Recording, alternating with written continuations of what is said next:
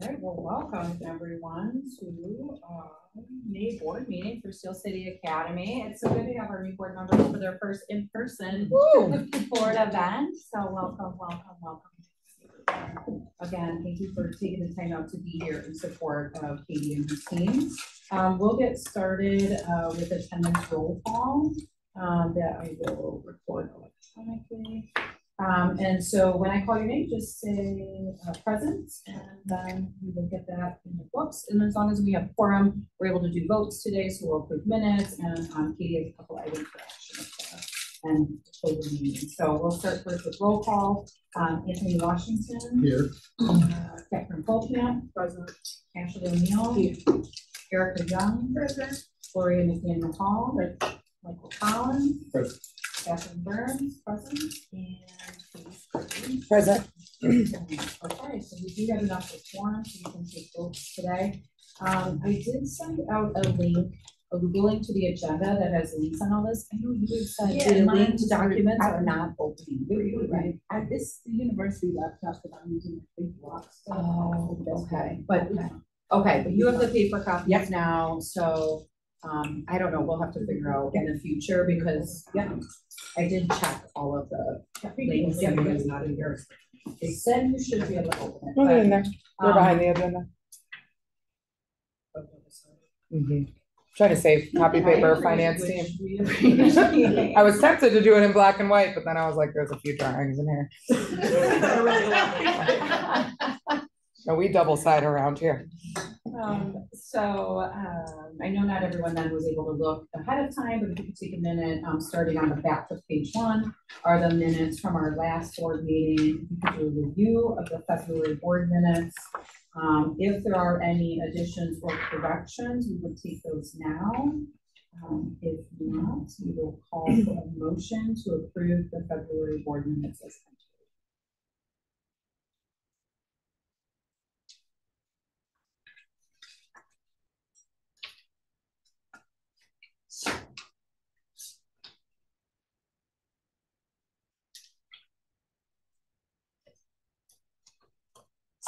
I make a motion to approve the February fourth meeting minutes.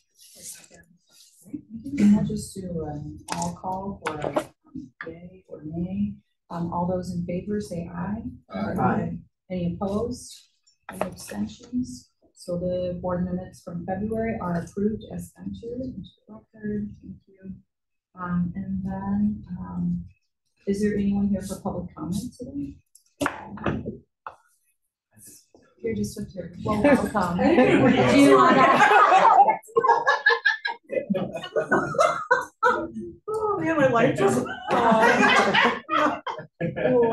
do you Oh, want to that's scared of introduce yourself just because we do have some new board Oh, members? sure. Um, Yes, um, I'm Mr. Stevens, I'm school operations coordinator, um, so I can handle IT, um, food service, all the like behind the scenes things, help keep things running. How long you been? Uh, this is my fourth, year. uh, so I taught third grade for the first three years, and then moved over to this position this school year. Well, welcome, let us know if you have any questions later or whatnot, it doesn't have to only happen during the public comment section. Um, Welcome, uh, okay. And so we're gonna move right into the executive director report and the facilities report, so we'll turn to Katie. Awesome. Um, so in your packet, I've got everything stapled. Also, every time you guys come in person, I not only like to feed you, but give you some more Steel City things. So more Ms. O'Neill love depends. Yes.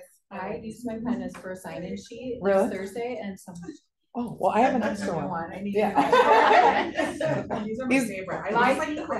big deal. They write so good. They're too. hot, I they're don't hot. like That's them why though, someone walked away. with I know, they're very smooth. Mhm. Yes. Yeah. Well, Thank you for treating us. Yes. Yes, I appreciate it. Um, so as always for ED reports, um, where our working group reports are aligned to our accountability framework from our authorizer, the ED report is aligned to our strategic plan, right? So just to reinforce, we have four big pillars around what the next five years of Steel City looks like. And so for each of the uh, reports, I dive deep into the priority areas around organizational sustainability, talent and people, quality instruction, and branding and storytelling. Okay, so um, in organizational sustainability, there were three big key results that I was working towards this year. Uh, and there was a big one met since the last time we met. So we have officially closed uh, on our new school building. So, um, you know, that had been, you know, originally it was supposed to be an April 16th close. Um, when we did our final walkthrough, the building was not ready as outlined by our purchase sale agreement and the legal um, documents that we had signed. So we really had the ground. The building needed to be cleared and cleared means cleared. um, and so there was a lot of back and forth. Um, but we did get the entire building cleared, um, including the second floor and the auditorium, did a final walkthrough, and we fully closed on the building. Um, so very, very excited about that. We closed officially on Monday, May 6th. Um, so thank you for everyone's like the people that have been here for a very long time and that have seen this journey and gerbil wheel, especially Catherine. I just want to give special note. I think you've gone through five potential Yes. buildings. Uh, forward five times. yeah, five times through this process and uh, you know, so many different what can we afford models and everybody from, you know, Anthony, some of the political support you've done and the nudging and reimagining the allyship that we needed for that and all the work on governance and reading contracts, Erica. I mean, like literally everyone in this room has such an integral part of that. Um, so we released that Monday. Prior to that, a huge shout out to Ms. O'Neill. We met to do some just communication planning. So what does this mean for parents? What does this mean for our stakeholders? So that when we do close, we are ready to hit on all of those dominoes. Also worked with a partner on getting press releases out um, and have been really overwhelmed by the positive response, not just from our Steel City community, but the overall community of Gary. Um, so we've gotten like phone calls from people really excited. There's like it's been posted in all the like the Facebook groups, like you know you're from Gary or what's up Gary and all of these things and really positive, overwhelming positive response. A, a really interesting subgroup that I want to start thinking about how to use are a former alumni of Duncan and Lincoln had been posting on all these social media platforms with pictures when they were at school. And here's what the entryway looked like and all of this. And so it was a subgroup I wasn't really thinking about on how to invest in this journey. Um, I think it could help from like a donor base and a capital campaign, from a vision keeping base, from and so like my brain's starting to work through like who are these different subgroups that we want to continue to like bring alongside us. But that's been a really fun one. Like I've been Facebook messaging with this guy who graduated from Duncan in like the mid 70s. And he's like, I'm I want to give back. Like, what can I do? I think another, like, you know, Midtown is such a vibrant neighborhood in Gary with just like an incredible neighborhood feel and community. And so we've had people who live on the block that have reached out to us and like, we can't wait that this building is getting repurposed and how can we support? And so there's just been, there's uh, obviously overwhelming positive from our Steel City community, but really unexpected subgroups kind of coming out just you know vocalizing their support and so i will i my brain's really working on how do we keep them as allies of steel city in all the ways so if anybody has any thoughts on that um, i'd love to hear um, i would say there's a small subgroup that and the pushback hasn't come to us but um, there's been some the backlash to the gary community school board um, so although we're, we're all positive in our school board meetings they've had to take some heat um, from folks so um, just as it relates to the dynamic between the traditional district and the charter school sale, because it's the first time in history a building has ever been sold to a charter school. So it's like very groundbreaking. Um, and for some people where, you know, they're really set on charter schools being the enemy, um, it's been hard to kind of like work through that. Um, so I hope we prove that, that we want them to be a, a part of the community and along for the ride. And so that's another group that I'm thinking about, the people that are not happy about this sale acquisition and and really the symbol of what it means that charters are here to stay, whether we like it or not, you know, politically charters are here to stay. And like, um, and I'll talk a little bit more in the governance working group, but we've been really fortunate that this, the new mayor's administration, which has been in office now for about like 130 days. I only know that because the state of the city was last week. I don't like have a tracker or anything. last week it was 125, so I'm just doing the mental math. Um, they've, you know, and, really not only spoken in words, but aligned it in actions around really being a mayor that is here for all children in Gary. Public, you know, traditional public school, charter school, private school. So at the state of the city, for the first time since I've ever been here, um, they invited all the superintendents, principals, and for each of us to select students and we all gotta come on stage, like during the Save It City. They've started hosting these like mayor's roundtables for all school leaders. Um, and so we're hosting like a citywide safe summer program. Steel City is gonna be a site for all of our high school like SAT boot camps and some of this. Um, for it doesn't matter what school you're enrolled in. Like if the school's in your neighborhood, come on in. And so I think there's some really positive trends that are happening from a political landscape that not only set the conditions for this to happen, but I think will continue to like accelerate this. Yeah. So um where we are at, any kind of high level questions about response? Actual final close? Before we talk about kind of what's what's next?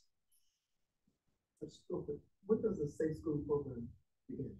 It kind of depends on different locations. So we're, we're in school, we're, Steven, sorry, but we're the last school in session in the city of Gary. So we're in school till June eleventh.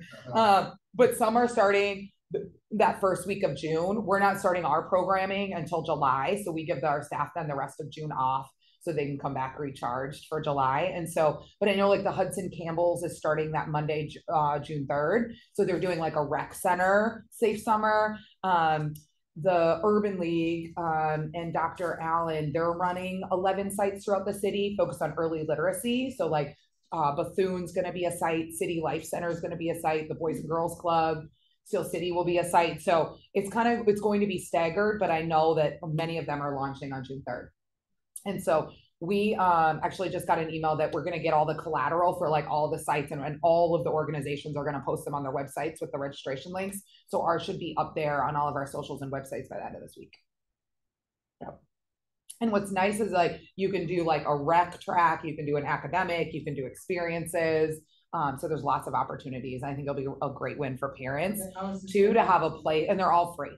Um, to be a place. The only con and what we're trying to thought partner in is currently because it's such a significant cost, transportation is not provided. And so what we're working on, Johnny Rucker, who's um, the head of youth services for the city of Gary, we had a meeting last week with Gary Public Transit to see if we could at least get free bus passes and, you know, give them the opportunity to ride a city bus and try to, you know, navigate city routes and what that might look like. Um, and um, they're definitely open-minded to provide that. So we're trying to navigate transportation is just so expensive. Um, and so in order for us to, for it to remain free, we're trying to figure that out. Um, all right, so, uh, you know, it's kind of like, okay, you close on the building and then it's like, well, let's get to work. So the next morning, so just from a risk standpoint, I think the board should be assured, like, we have, uh, liability insurance now on that building, so it is covered, it's in our policy. Um, we also, thankfully, that building, it was one of the reasons it was like, um, a set above many of our other options was already under security surveillance and monitoring. And the company that, uh, was monitoring is the same one that we use. So we were able to, it, we didn't even turn it off. We were able to transfer it over within twelve hours and it's negotiated them to only add eighty-seven dollars to our bill every month. Um, and so it's now on our app, so we can like watch Lincoln and, um, yeah, we have a very like sophisticated app where it's, you know, you can see everything on there. So it is fully, uh, you know, monitored under security surveillance. The head of security for the city of Gary, Cliff Caldwell, is also like, you know, a, a friend of mine, and he's like, Katie, I am around that building all the time. So it's like good to know not only do we have the monitoring, but like the district continues to be, you know, um, partners on that. We also got the building rekeyed, uh, and a cost that was incurred by the district. So that was really great. They realized there were a lot of master locks that were also the west side locks. Um, and so they incurred the cost to get the entire building rekeyed. Um, and so we are now working on, Ms. O'Neill and I kind of like our continued, what's our cadence, our frequency and our mode of continued and not only give people updates, but provide input. Um, and so we have been working really hard with the architect. So if you go to kind of at the end of the ED report, you'll start to see some initial drawings. So we're in our like uh, what's called our schematic design phase of uh, this property. Um, so if you kind of look up on the screen or in your packet, um, you know, so we are on about 17 acres of land on that property. Uh, there are, you know, two school buildings. Lincoln is the one that we will be you know, utilizing. That's the one that's in the best condition. And then there is also on, uh, Duncan, um, it'll be a part of our long-term plan to get that demolished. Um, right now, we'll just need to get it fenced from a safety perspective so that nobody's able to access the building. Uh, but what we're working on right now are like the site maps. So this is where it starts to get like really interesting, like starting to talk about traffic patterns, how many bus stalls do we need? How many parking spots do we need? Um, where are all of our entrances going to be? We've just secured a civil engineer through our architect. So we're gonna go in fro- front of the Board of Zoning Appeals next week with the city of Gary for the first time to start to get civil engineer permits. Um, and to do a traffic study to determine like how much, how many parking spots we need, do we need to, you know, widen the streets? Are stop signs okay? They'll do a big traffic study for us to determine if anything needs to change from the city perspective. But with our architects, we're really working on just like a lot of the traffic patterns and making sure that as we're building our budget, we're accounting for this. Um, and then the fun stuff. So we're going through then all of our building maps and, um, we've got our senior leadership team. It's sort of, we've got, uh, envision this as like a series of concentric circles. So our senior leadership team is kind of our core schematic design team. So we meet for ninety minutes a week with our architects currently on Tuesdays, where we are looking at the configuration of the building, aligning it with like our space needs. Um, and so some really exciting things, um, that just already is leveling up the amenities and the facility access that we're going to have. So you'll see like, we have a gym that's like, eh, that we're gonna be able to use. We have a, like, uh, we're gonna be able to have two cafeterias, uh, a warming kitchen that we can then transition in in phase two to actually being able to prepare all of our food. Art, a big nurse suite. Um, this, our elementary teachers are gonna be really excited. So elementary will have bathrooms in the classrooms. Uh, this really came for some feedback from, from, from some of our early elementary teachers. Um, we'll be able to have libraries, a music room, a teacher workroom, a teacher staff lounge, all of this. So um, we're kind of working on the phase one of this. Our next concentric circle is we're going to start launching what I'm going to call like our facilities vision keeper groups. So how do we keep our vision and our model and what makes Steel City so special? Mrs. O'Neill, as we were talking a lot, is like we really want to talk about new building, new opportunities, while also assuring our parents, families that it's the same values, it's the same vision, it's the same team. And so how do we keep this like family knit, really like, you know, school with really strong values, high standards of excellence. And so starting next week, I'll start inviting parents, um, students and staff to join in as we go to the next phase of the design process. And that's where we're really like, so this schematic design is like, imagine like the thirty thousand foot view.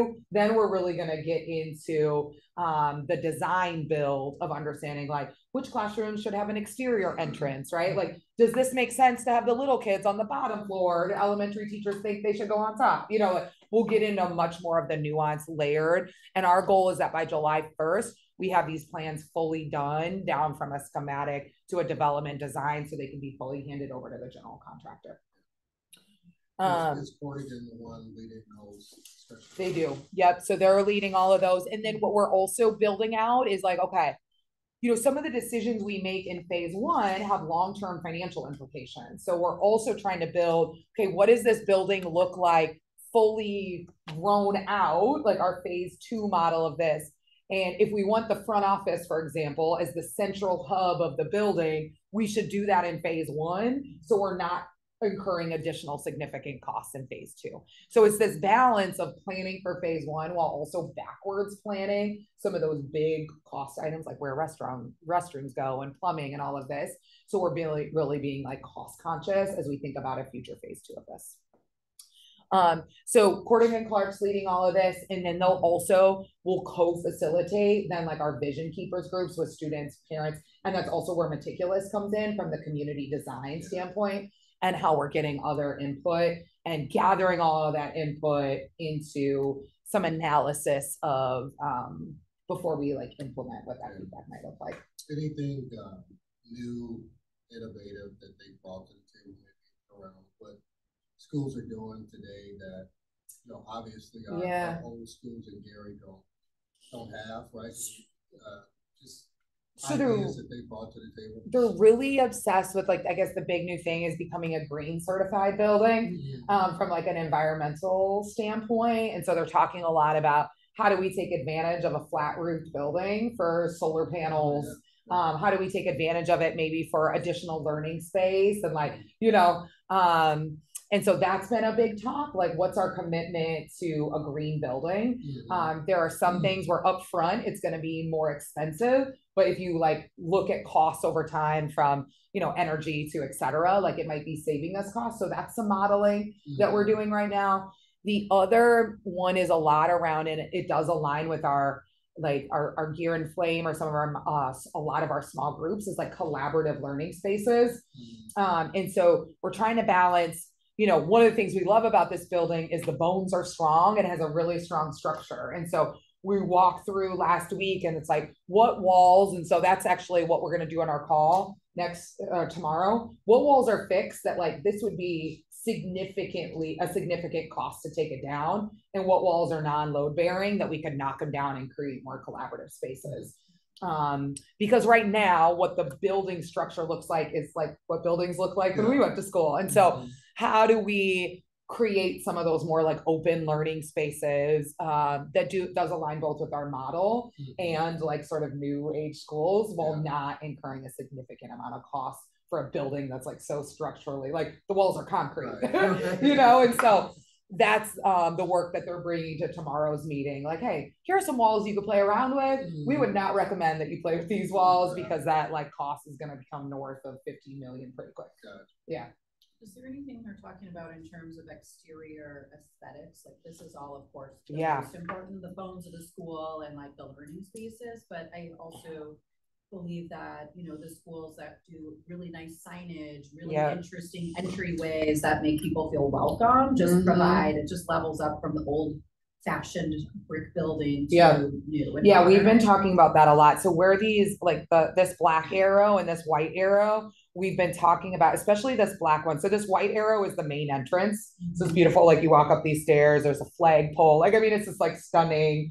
Um, this one is on like the corner and right now it's just like two doors you open up. And so we're talking about like doing a canopy that kind of like goes around like the edge that has a lot of Steel City signage so that you can see it from nineteenth, you can see it on Polk, uh, and doing the same here. And so we're talking about how to leverage signage and things on these corners.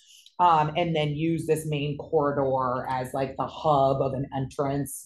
Um, but yes, we are talking about that. Um, and so these, these black arrows of the corners where we're really trying to leverage that. Yeah, it's mm-hmm. just even thinking about from an enrollment standpoint, we want people to know whoever is driving by, Yeah. whatnot, like that it is burned in their brain, like don't forget about Steel City, it's right down the street. Right. The other advantage and one of the many reasons we chose Cordogan is they have a partner firm they work with, which is this SPS Plus, which they specialize in marketing. And so tomorrow they're going to bring some stuff, even like, how do we get signs up there right now? Now. Right? Like Yeah. Steel City, like future home of Steel City coming soon. All of that we would be able to put into the loan package from like a soft cost um in terms of marketing. And so they're gonna bring some designs tomorrow because we wanna start putting it up there, like, you know, One of the things we had to do at Elaine Lock, because it's an older building, is uh, one of our board members is a sign person, it's like their business. okay. And so they put these huge brackets up on the old building that have all of our beautiful banners of like Blue Ribbon School, Mm. top ten schools in US News and World Report. And they're really nice signs. They have to be redone because they're not every couple of years because they weather. Yeah, Um, but then we just put new, the new accolades up. So I don't know if they can put Yeah. some of that into the budget. do you have any examples of, Oh, Yeah. Yeah. Send you the PDF. from perfect, perfect, yeah. Just like, I'd love to just now, Just see, so you could show them. Yeah. And then we do signage on the fence, like for enrollment, so that it's not just a fence that's like facing the neighborhood, because like you Mhm. said, we're gonna have to fence off that one building. How do we then repurpose that to be a surface that we're advertising? Yeah. There's pictures of our students on that Yeah, backside. as like a platform rather Where, than, like the QR code for enrollment, like things like that. yeah, Um, So I'll, I'll forward. Yeah, the that'd be awesome. It's crazy. It's real. It's becoming What, what will be the, What? I'm sorry, I said a question. What will be the, uh, new student enrollment capacity? How does that compare to the current building? great question. So fully grown out, this building has space if we, you know, do like the uh, required square footage per student based on the state of Indiana, it could get up to seven hundred students in here with no additions. Um, it- is on seventeen acres of land and it's not in a floodplain, so there is also opportunities for additional new build. But this current Lincoln as is with the two levels and all of the current space up to max seven hundred, that'd be tight. Um, but it certainly has the space for it. And currently, we're, you know, three fifty. Um, so certainly a lot of room to grow, um, as we go over there. Any other, that's a great idea about the, um, building and the marketing. Any other questions that it's like sparking or ideas that it's sparking for people, either from a marketing, branding, storytelling aspect, from a design, stakeholder groups and investment and keeping them along for the journey? Any other things that I know we talked about like not wanting to grow too fast, but Mhm. still like growing enough to where it makes sense to go into the new building. Has there been like any more thoughts or discussion on like what we want the enrollment to be at the open? Yeah, right now with the open, we would, or that we would just add one additional kindergarten. So what we have on the open is that we go up three seventy-five, so keep steady on the rest of our school and then start to do the slow growth of a two kindergarten model. That then would become two first grade, et cetera. So you'll see like the two Ks in here. Um, and then also, and you'll see when I go into enrollment numbers, I think is, is post the announcement, we've seen a huge uptick in high school applications uh, which has been interesting. We've talked about that, that's where we've seen a lot of attrition from the eight to nine for like a real high school experience. Um, and so we also would be able to enroll more students in our high school, because right now we're under enrolled in our high school. So fill out some of the weird little, like, wouldn't even call them bubbles, but deficits almost in our high school enrollment. Um, and so, you know, in terms of cohorts, only adding one kindergarten that first year, but we'd be able to sprinkle in some more high school too, because right now we're under enrolled in those areas.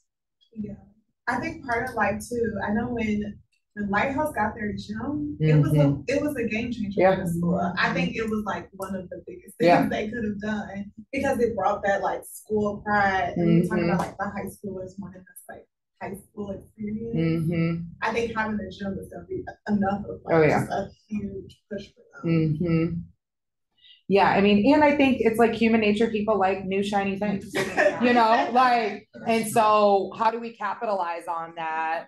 While also like, and what we're gonna stay true to who we are, right? Like a new, and that's why in my message, I'm like, you know, we've always said we're not the four walls that we're in, like, we're gonna continue to be a school that's about like our values and our vision. And now we have a gym, you know? Um, so, so yeah, it's like working like on that branding and those talking points, you know? When it's all things like the science labs eventually will be there, I think that looks like it's part of the phase two. building. Yeah, it's part of the phase So two, although we will have two science labs in this one, like a oh. six, eight and a nine, twelve, even in phase one Even is in the phase plan, one. yeah. So It's as much about the gym as also, some parents Yeah. are really interested in the And a science new lab, labs. and a Yeah. library, yeah, and a huge art room for like our incredible art program we have, yeah. And just thinking about, are they pushing a lot of thinking around this, like a library in terms of being like social, like? Yeah, uh, a multimedia multimedia center, yeah, so we've already like through a grant had for our student media course have like four of those like massive, really nice, like, is it four or two? No, two, like of the big MacBooks, you know, and some of them, Yeah, like the Mac accessories, so, yeah, definitely more of like a multimedia, like we're not going back to like the Dewey Decimal System or Right, right, anything, right. yeah. This might be not on your radar, but I work with someone, um, actually just like coaching and volunteering, um, who is a designer that designs environmentally stimulating classrooms and building spaces. Oh, wow. And, um, has a lot of research around like how you should paint the walls and should you have pictures of leaves or trees in the classrooms, like when you don't Mm. have windows and access. Might be an interesting conversation for Yeah. you to just have. I'm not sure if they're, that, um, design group is thinking in that way, but. No, I think that's- that'd be great. design schools Yeah. specifically. Yeah, I think I would love that, Okay, yeah, if I'm you gonna wanna do a connect connect, you with Dave. Yeah, okay. his name is Dave Rose. I'll connect you to him. Okay. I think the other thing that we had talked about, I think it goes back to our board retreat was how do we, what symbols from this building do we want to take over? And what like legacy and storytelling of capturing this building? And so Um, I'm working with a video, videographer to start capturing some of this space and kind of the story of the move and the transition. Um, because I think it'll be really good from just like a legacy and storytelling perspective to have a lot of that. Um, but somebody brought that up at the board retreat, didn't remember, and it was like such a good idea. I think even emphasizing next year, like, you know, like going out with a bang, like. Yeah, last, like, what's a rally- people what's a rally like, cry, like, yeah. You're the last students to get taught in this building, Right. special. Yeah. It's gonna be the oh, No, that's a really good like Yeah. branding idea, yeah, Like We- media time capsule. yeah. I like. Well, it's funny because I teach seventh grade math and the seventh graders are really excited about that. They're like, we get to finish middle school in this building and start high school in a new build, you know, and it's like That's those real- little things like, um, yeah, our seventh graders are fired up about getting to be the first high school class, you know? Um, so I think that's interesting to think about for like a rally cry for next year and, uh, yeah. Um, I love that idea. I Um, mean, depending on who you sell this building to, there's a lot of. If they were just gonna demolish it, you just. Whoa. Wow, that's a turn. Yeah, Like, yeah, crazy, Yeah, I don't know, it depends on who you're selling. yeah, yeah, yeah, yeah, which is likely, which is sad, I think likely what's going to happen, yeah. Um, so the group, the, uh, Bruckenheimer Truck, Trucking Company, which is right next door, is interested. So they called after the article, they're like, it's fine, oh, yeah. So- Gary Fire, who's right next door, is really interested. Gary Fire would likely keep a lot of the classrooms and turn this into their training center. Um, I was just like joking with the new fire chief. I'm like, well, you better come with a dollar because Bruckenheimer is talking. And then like the owners who own this back building, they're interested. They totally demo this and just use it as a parking lot. Which is like, no, My emotional connection, Yeah. but, um, It's not so there. what, I'm not there, no emotion. I'm ready to spray paint. I know, and then she wants to spray paint it. I cleaned the cafeteria I know. You did paint the cafeteria wall, so. So, I wanna spray paint, I can spray paint. Bring it back. Yeah. Bring it back. It's like the burning where you like just, yeah. I know, I did have a, a parent who was, um, asked like, do you want me to go through the building and sage it? Like, would you like to? Yeah. That's neat. I know, yeah. Uh, open up the window. Mr. Stevens, Saul and Sam Graham's mom, yeah, Very nice try. yeah, yeah. She was so lovely and I just love her. No, feel bad. No. Yeah, I was like, I, I feel like you can't say no to a sage offering, yeah. Um, so we have also, uh, released our RFP for our general contractor, um, so we've got those in, so this was pushed back a little bit because we hadn't closed, um, and so this will be ready for approval at our June seventeenth meeting. Um, and then our goal is that, and our, um, architects, Cordogan and Clark are in the interview process with us. So because that partnership is gonna be really critical, both from a cost perspective and a timeline perspective.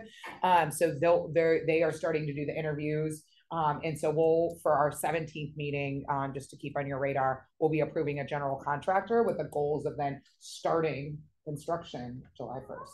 And it's a So- Big groundbreaking. Yeah, so I think that's the, uh, like, so, some of those other, I think that's the big work I need to do next is like, what are these, what are the big milestones and timeline? How do they get, you know, communicated, celebrated, who, you know, all of that in just terms of like a milestone plan. Um, but yeah, that'll be some sort of, you know, a gold shovel and somebody, yeah. Um, so we're targeting a July first, um, which would, if that's on track and we know how construction projects go, it would allow us to move in for a fall of twenty twenty-five start. So they're still trending and they feel confident right now on where supply chains are, but with an uh, upcoming election, a lot of things could change. So it's been really interesting, I think, for the board to be aware, like, on all of these calls, they're talking about the election. Um, both from a cost, so in my finance calls with Sajan, uh, and in terms of like timelines and tariffs and, I mean, all kinds of things. So I think it's just something for us, obviously, that there's, there's some variables that are gonna be out of our control right now. If we meet our July first, uh, securing a general contractor is breaking ground, we'd be able to move in for next fall. Um, but knowing that, you know, and by next fall, fall twenty twenty-five. Um, any other questions? We'll do some updates in the finance report, kind of on where we're at with financing. Um, but any other kind of high level questions about facilities? I know that's why you were all here. That was like the big ticket item, yeah. Um, all right, I'm gonna kind of roll through. You guys have a lot of reading that you can do, but I'll kind of touch on some highlights for the rest of the ED report. One of our big priorities, both to support uh, building our facility reserve and the sunsetting of ESSER has been a priority of mine on uh, receiving a million dollars of competitive grants. We have surpassed that. So right now we're at, um, we've brought in $1.3 million of competitive grants. Since the last time we met, um, we did get, if you guys remember from our February board meeting, you guys approved that we could submit the application for the Charter Facilities Incentive Grant. That application was submitted. It was fully approved in full. So we got $211,000 which essentially means like our acquisition was completely paid for, um, which was great. Um, and then we've got uh, a digital learning grant that we've submitted through the state. Um, and now they're really starting to ramp up um, in terms of, of future grants that are coming down, down the pike. Um, the other one, as it relates to organizational sustainability, and this is really on Catherine's and my radar, we even talked about it on our check-in last time, is there's not been a lot of time devoted to the priority around like leadership succession planning and some of that. Um, so Catherine and I are really starting to gear up on that will be a big priority. Um, two big announcements. So we run a, a program called Gear Up, um, and this is to specifically focus on our paraprofessionals becoming licensed teachers with us. Um, and so we had two of our paraprofessionals who have graduated in the last month, got their uh, bachelor's degree, which is really exciting. Um, and that will be full-time teachers with us next year. So it's like a proof point that some of our like succession planning, at least in some of these more junior roles or in pipelining that we're doing are really working, um, which is really going to support some of our, our talent needs uh, and what's continuing to be a talent shortage. Um, we also tripled our applications for our teacher leader fellowship. So this is a program that we run. It's a two-year fellowship for veteran teachers who are high performing teachers who also have a set of skills and strengths that they might not feel are getting fully leveraged or positively impacting the school and are interested in leadership. So last year we only had two people apply. This year we had six. Um, you'll see, you know, everything from an elementary literacy TLF, which we succession plan to be a future director of instruction. We have some branding and uh, a marketing TLF, which I'm really excited about, a parent engagement, a new hire mentor. Um, and so that's been an organizational sustainability program that we're continuing to see some strong returns on our investment. Um, so just board calls to action. If you are interested in joining any of our facilities vision keeper conversations, those will be focus group conversations I'm doing with staff, students, parents, and community leaders. If you're interested in joining those, let me know, um, and I'll add you to our invites. Um, and then, pardon me? You know, Mike Kirley loves joining everything. I'm like, sir, you're the busiest retired person I've ever met. His wife messaged me. He's like, does he have another Steel City call? I'm like, he's just joining them. I don't know what to tell you. Uh, it's like tired. Right. Um, and then continue i think particularly uh, like with this building like it, it, opens up our ability and like right fit grant opportunities. So if you're running across anything for like playground equipment like that's really top of mind. We've always had these like playground ones and i've never applied but like any sort of sports any sort of like a music program you'll see on the schematic design we have a music room. We don't own an instrument. So like uh mr stevens would you know would love to uh, be the band teacher with his french horn skills. Uh so any of those grants as you continue to like if you come across any of them in your networks social media whatever please send those along my way um, talented people, we are in the season where we are focused diligently on retaining our people and hiring new people. And so um, we're piloting something new. Typically, we when we're in this hiring process, we don't bring anybody on until August. But we had an incredible, like incredible candidate come in for middle school social studies, and but she wanted to start right away. And so we're piloting her starting early in quarter four. We've never brought anybody in this early, um, but it's been awesome to watch her just like integrate into our systems, get started. So that's Miss Payne. She's middle school social studies. Um, and she's already signed on to return for next year. So it's like one less hire that we get to do that we're excited about. Um, we do have four focus areas in terms of next year. So if you're people that have teachers in your networks, we are in need of a kindergarten teacher, um, and a third grade teacher, a fourth and fifth grade humanities teacher, and a middle school math. Um, and so those are our high need areas uh, instructionally. So if you know great people, great people know great people, send them our way. Um, we launched our application, and as I mentioned last time, we have it on a new platform um, called Nimble, which is meant to automatize um, the process and avoid people getting in bottlenecks. Um, and so, so far, we've had fifty-seven teacher applications. At this time last year, we were only at thirty-two. So we're significantly ahead of the game in terms of where we are for talent. We've brought twenty-two in for phone screens, seven in for in-persons, three final rounds, and we've made one offers, and that person has accepted. So um, we're a tough group. Um, so you'll see from who we've uh, made an offer, uh, we continue to hold like a really high standard.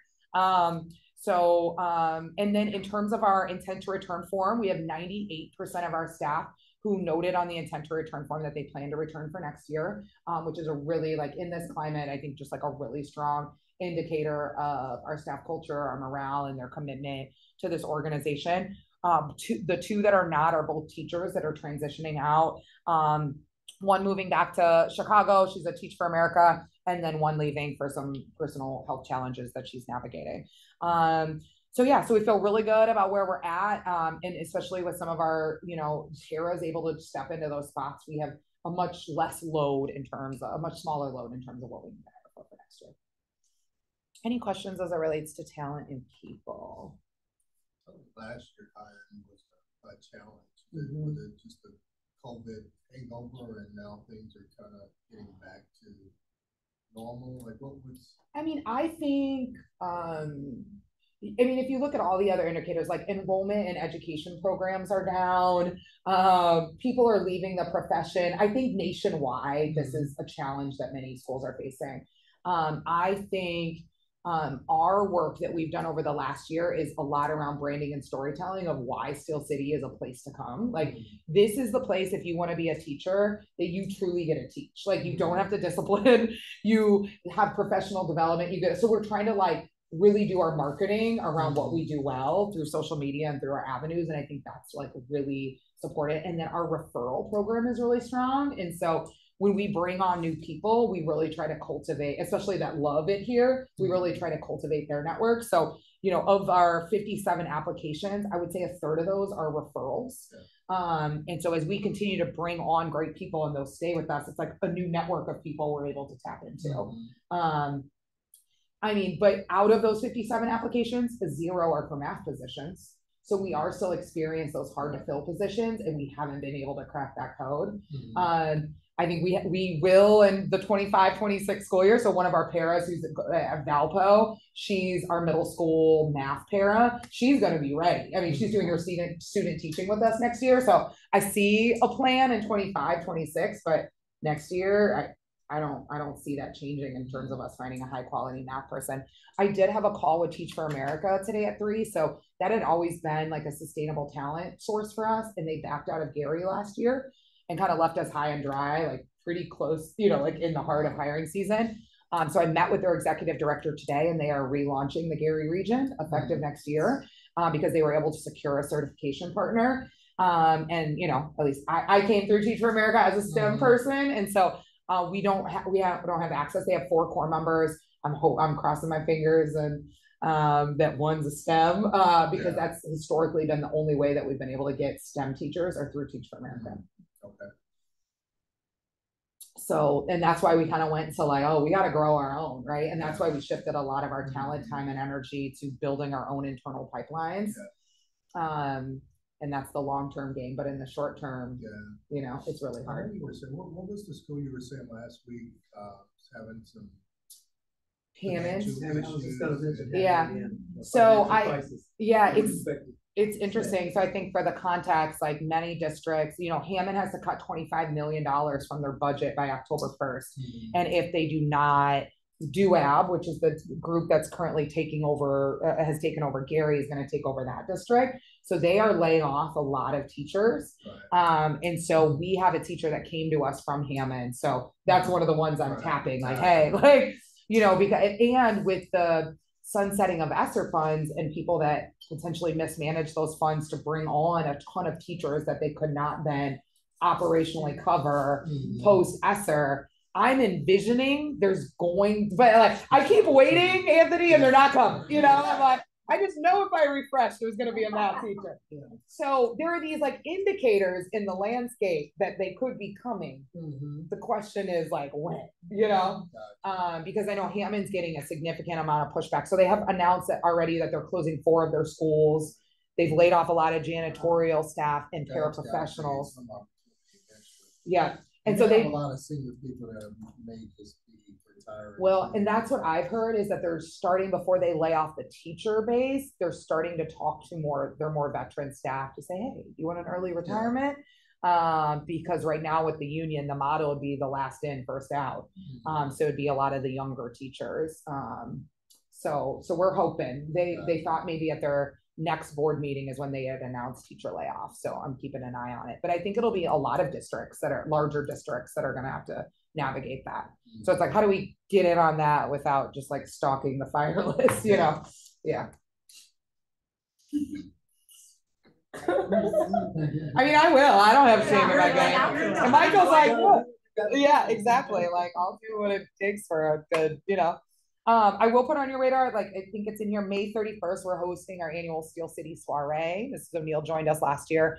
It'll be at, uh, a new spot in Gary called the Chinese Coffee and Cocktail Bar. It's right on Lake Street. Um, so I'll, I'll send that in the follow-up. Steel City Soiree is a way we believe, like, even in how we recruit, we are always telling our story and always showing like what our values and vision are. So we host a talent event um, at a Steel City or at a Steel City at a Gary location to a say like to us Gary matters, and if you're not willing to come kick it with us in a Gary location, this might not be a fit for you. Uh, and then B, we tell like our Steel City story and have staff kind of share their experience, why they choose Steel City, board members as well. Um, and then they get to do if they're they get to bring their resume and we do like speed dating interviews. Um, and then if we move them forward, that interview replaces the phone screen. So they move right into what we're reading. I'm reading a lot about this younger workforce is like they want you to move and they want you to move quick, right? Um, and so we're trying to come up with innovative ways that keeps the integrity of our process and the standards we hold while also trying to accelerate the process and be a little innovative. Friday, May 31st.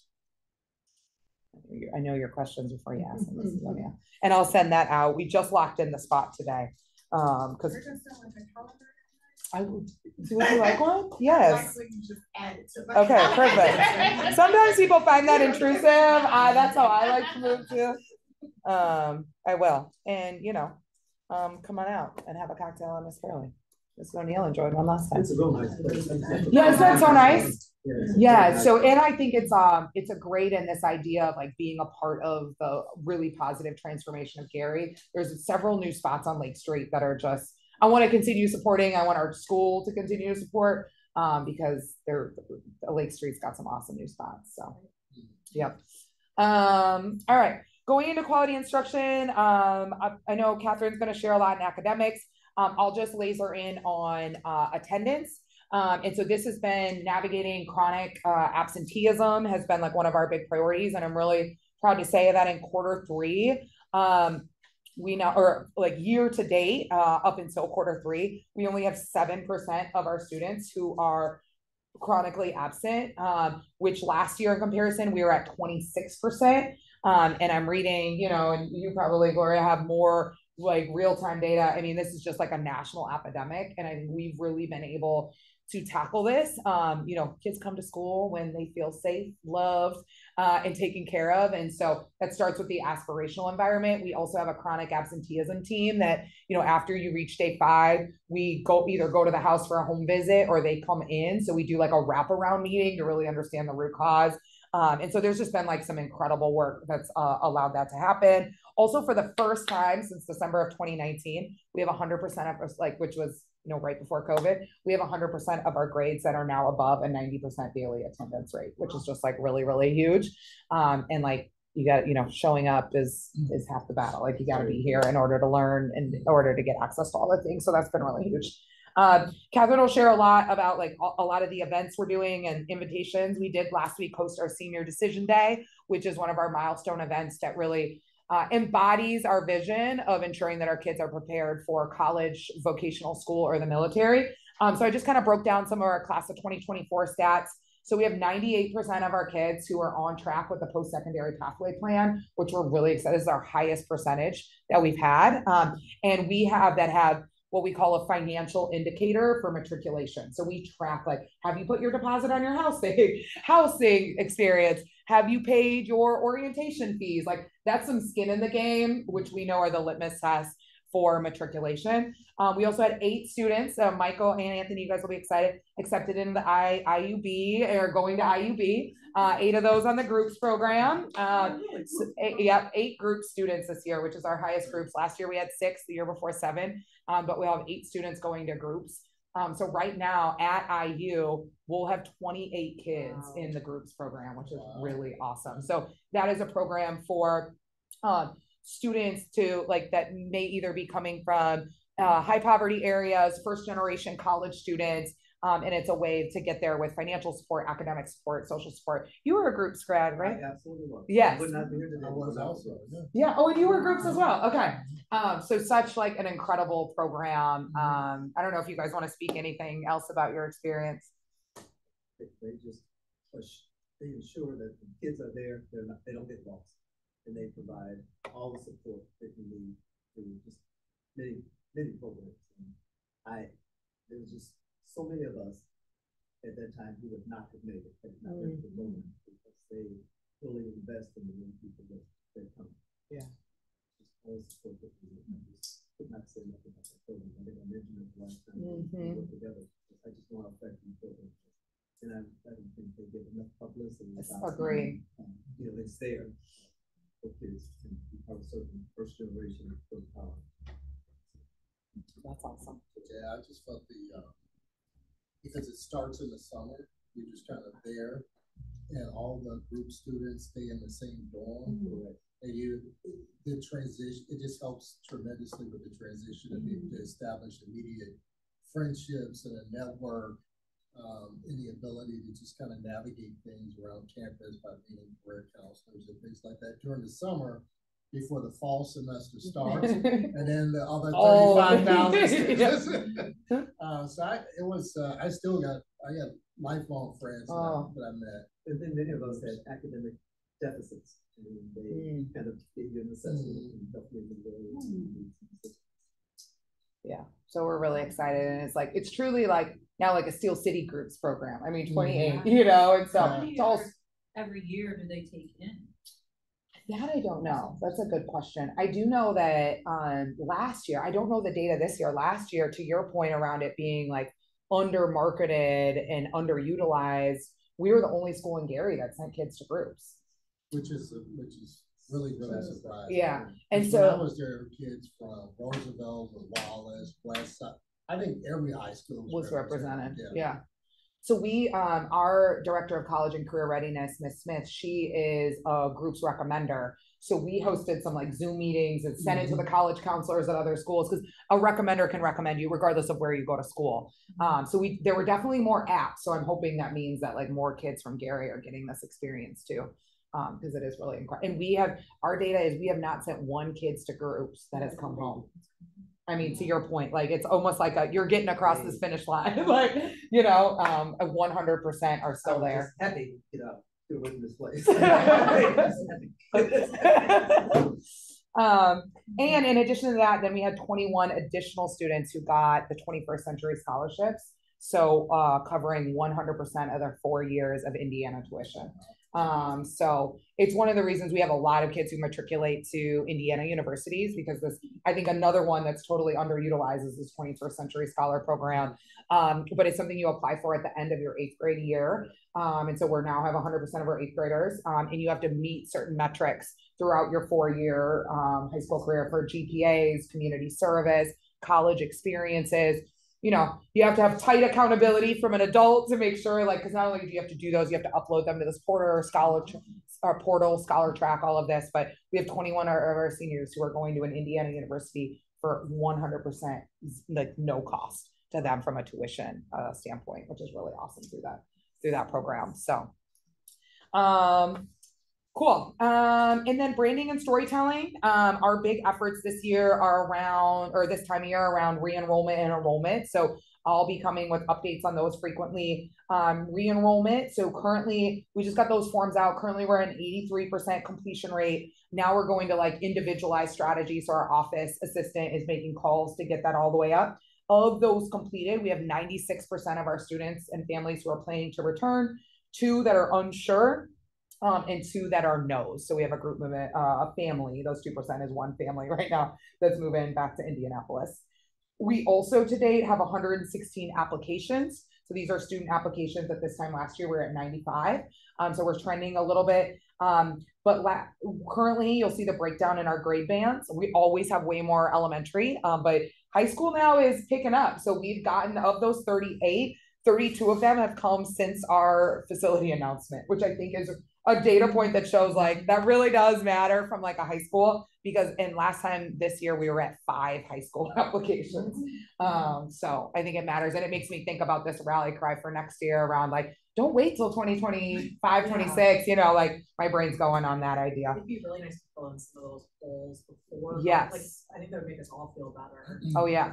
Yeah, if we could increase our high school enrollment, e- exactly. And w- that's how we're also thinking about the Safe Summers program. We're focusing on offering high school courses here, and we think it'd be a great recruitment strategy. Like, come in, meet our teachers, meet our staff, do our SAT boot camp, do our college writing class, do our college algebra class to try to fill some of those academic gaps um, that we're specifically trying to recruit high school students for the summer safe programs that we think will hopefully matriculate to enrollments. Um, all right. Those are the ED reports. Uh, any questions or, uh, points that I did not mention before we get into Was that last week you hosted the, uh, mayor's? Next week. Next Yep, week? yep, I'll talk a little bit more about that in the governance report. The twenty-fourth. Mhm. You're next. All right, Oh, no, I'm- governance is next.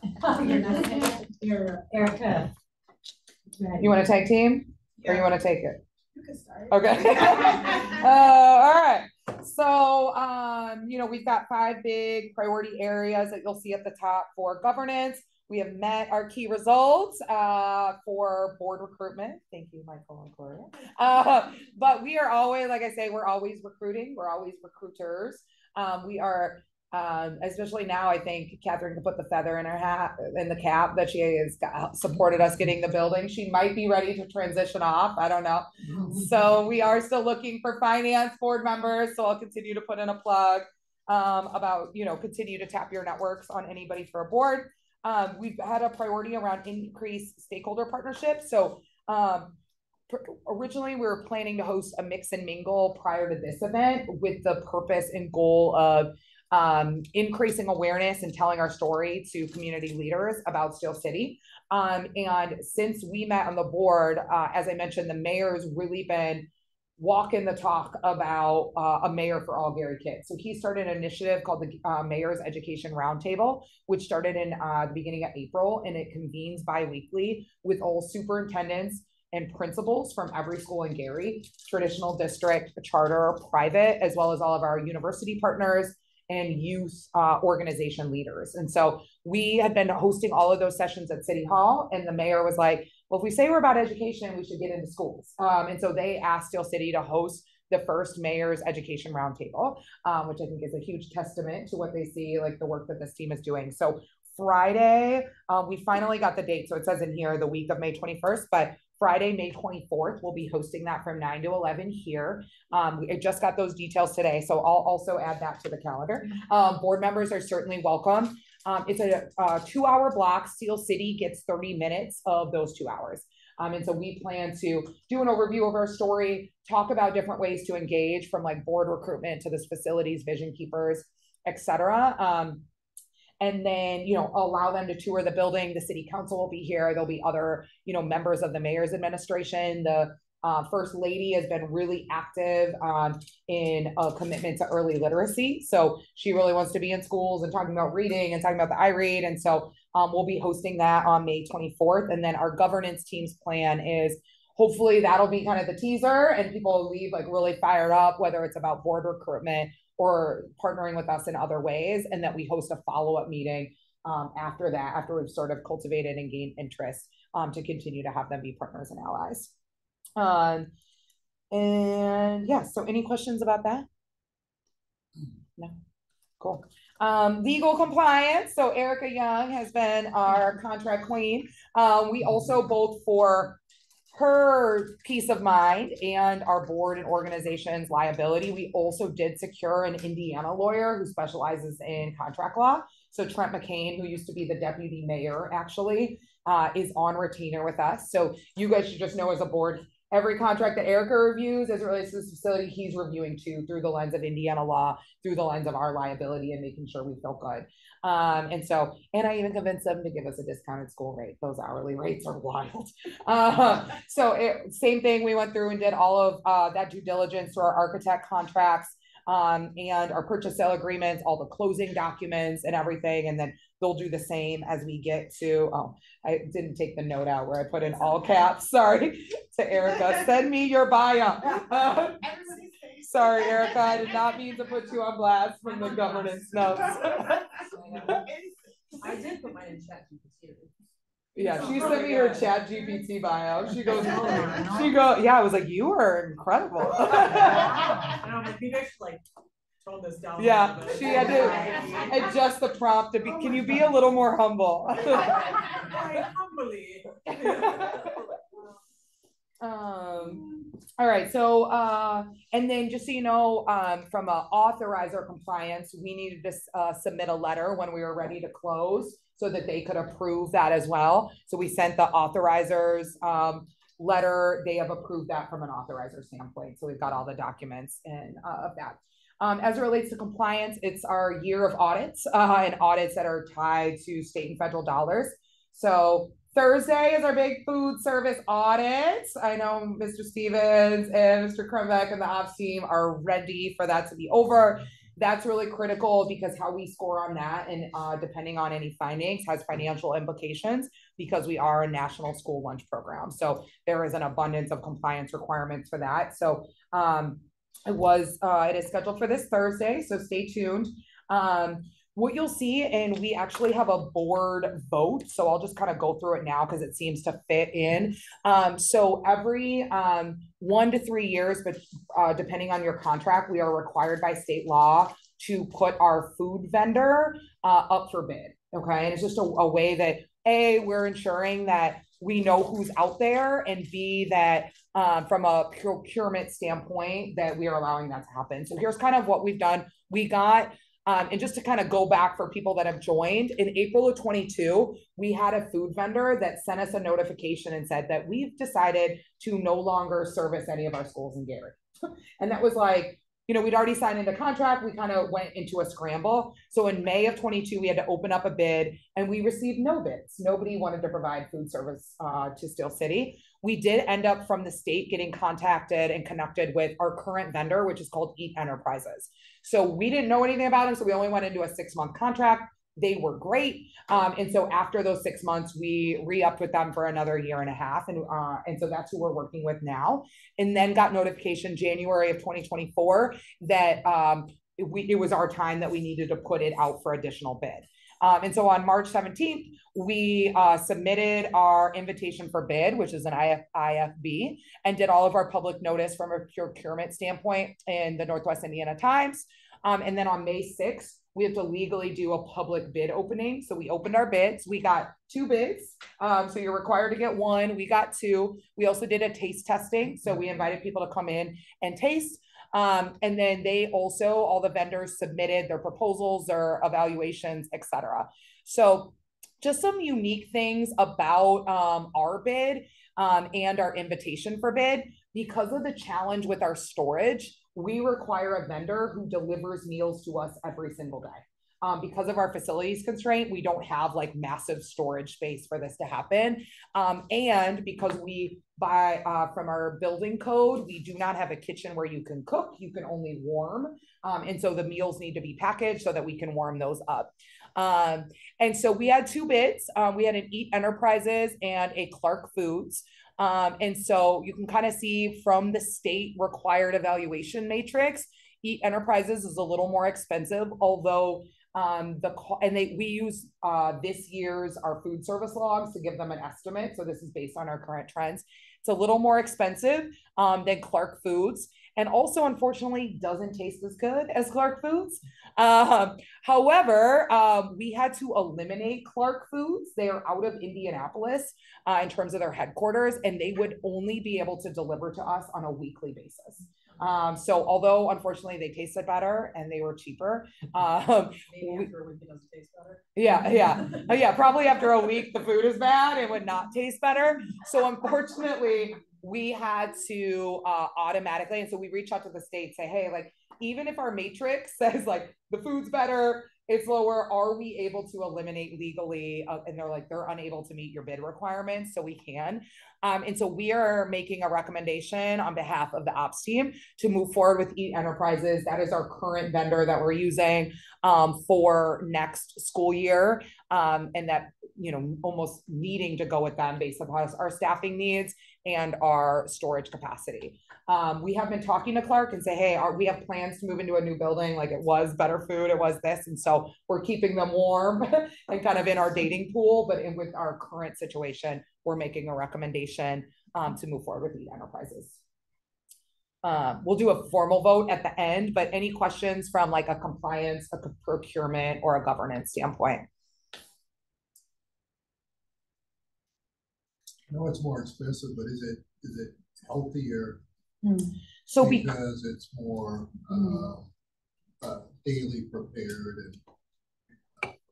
No, same both, stuff, both it's- vendors are required because we are a national school lunch program. There are like very strict requirements about the size of your fruit and how many fats you can have. And Mr. Mhm. Stevens, you might be able to speak to it a little more, but they, you know, they have to meet those guidelines.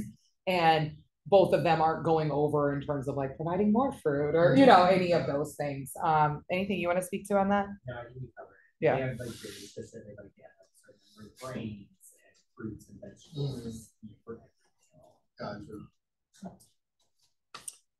Um, all right, so chugging right along on compliance. Um, other big compliance things that are top of mind, thank you for everybody, and I apologize retroactively for my stalking I did, but thank you for your uh bio, your headshots, and the background checks.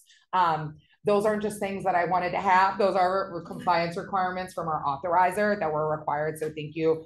Um, and then just want to continue to keep this group updated on legislation. So there was a lot of new bills passed that I think the board should be aware of. Um, so one is Senate Bill one, or you might be hearing in the news SB one. This is a new legislation that goes into effect starting this July.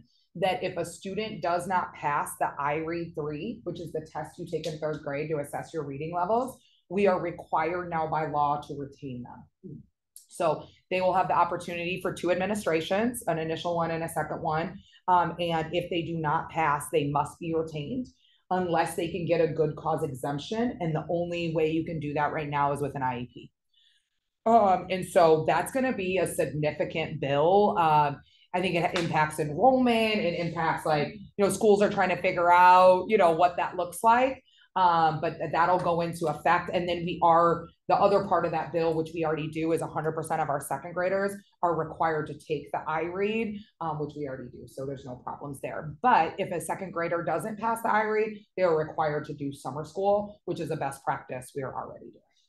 So the big implication will be for third grade next year, and any student that does not pass after the second administration would need to be retained.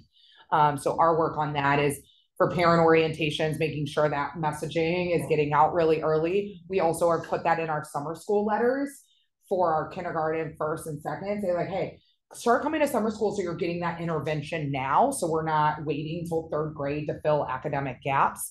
Um, but this is going to be like, you know, have implications in terms of staffing, enrollment, a bubble grade potentially at third grade to support needs. And so our brains are already working on how we're gonna navigate that. What is our, like, house? Yeah, this year we had our, um, yeah, we're like at, Over the past few years. like, yeah, so like, um, the state average right now is sixty-one percent. So that's why it's, or sixty-three percent. Sixty-one. Yeah. for? sixty-one after the first administration. Right now, we're at sixty-three percent, so we're beating the state average. But that's, you know, so, um, but, you know, after second administration, we have not gotten past seventy-five percent. So there's still a quarter of third graders that would need to get retained. Mhm. It's a lot of kids. It's a lot of kids. Kids the state. Across the.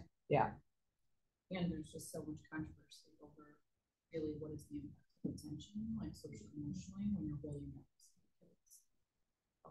Develop and now we're no Unintended longer with consequences their peers, it. Unintended. Right. That legislate, just aren't thinking through and don't have the context to be thinking through. Feel like to a mm. second grader, third grader. Um, yep. So that'll start next year. So we're trying to plant the seeds for parent communication on that and trying to also use it as a way, you know, summer school is an intervention. It's not a punishment. We're trying to do like a lot of mm-hmm. branding around marketing around that. It is to fill these gaps so that we won't get to this point, you know. Um, a, a couple other Senate Bill one eight five is just, is requiring now all school, uh, districts in the state of Indiana to create a policy about banning cell phones in the classroom. So this has really come uh, from a post-COVID. We have a no cell phone policy right now, so cell phones can't be seen or heard. So not a huge impact for us. There's a new truancy bill to address chronic absenteeism. A lot of the things they're now mandating by law, we do as best practice. So that won't significantly impact. One that will, both from an academic master schedule and a finance and a staffing, is they're now requiring effective next school year, a middle school civics course, a middle school computer science course, and a high school financial literacy course.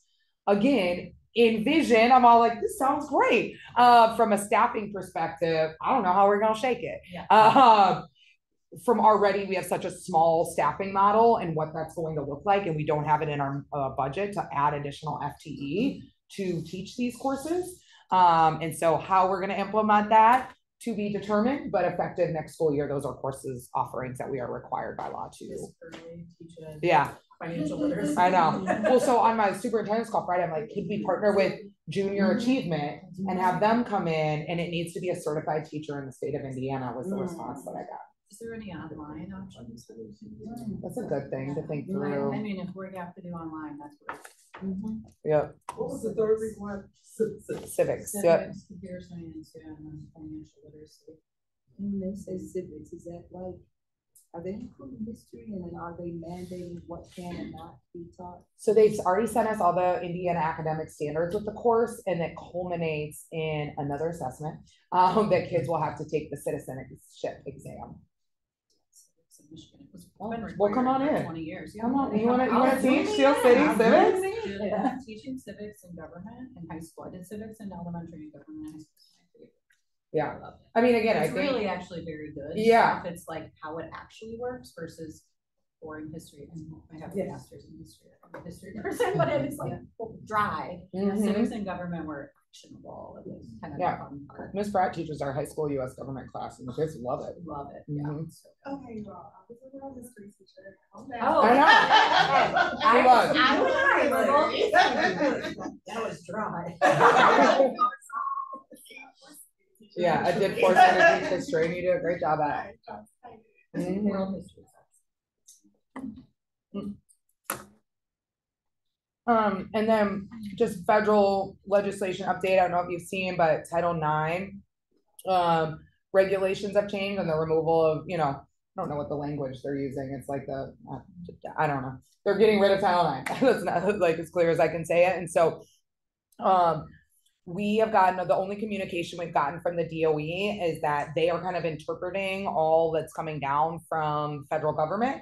Um, and they'll let us know August of twenty twenty-four, how and in what ways that'll impact schools and requirements from sports to course offerings to the definition and of sex and gender and what that means for bathrooms, what that means, like, there's going to be a lot of upcoming things um, that we'll know more after August of twenty twenty-four.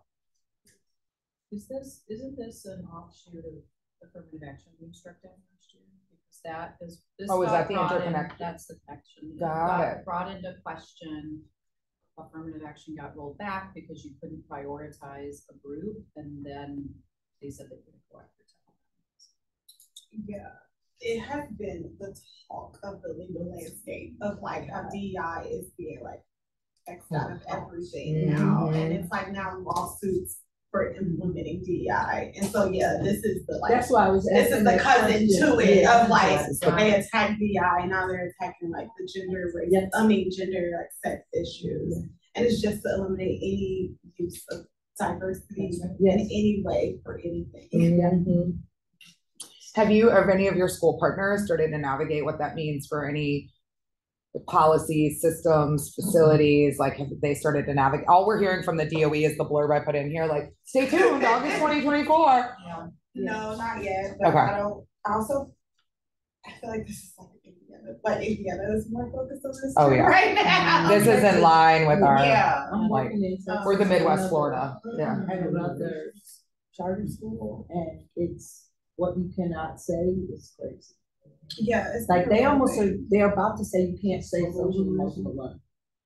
You can't use mm-hmm. those hmm. words. It's not, well, like, right now, the good thing is it's just school, it's like, they don't know how it's gonna translate to like mm-hmm. all of these other areas, but right now, it's just like, you can't factor in Mhm. any diversity, anything, and let it, like, it can't be tied to basically an mm-hmm. advantage within the school. Yeah.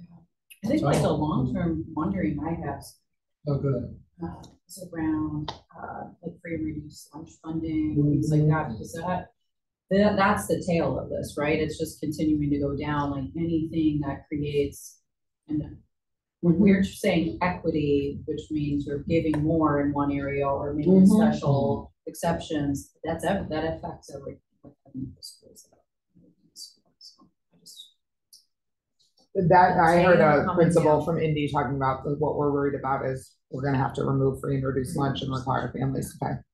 And all of that extra title money that we get because of the status of our students is a significant part of our budget. Yeah. What would you say our title money is, what percentage of what's out? Yeah, we got four, like four hundred seventy-four thousand dollars in just Title One this year, which is a, aligned to our complexity indicator, where the main algorithm element of that is our free and reduced lunch percentage. Well, and that money pays for what our paraprofessionals. All of our paraprofessionals. So it's, it's a significant.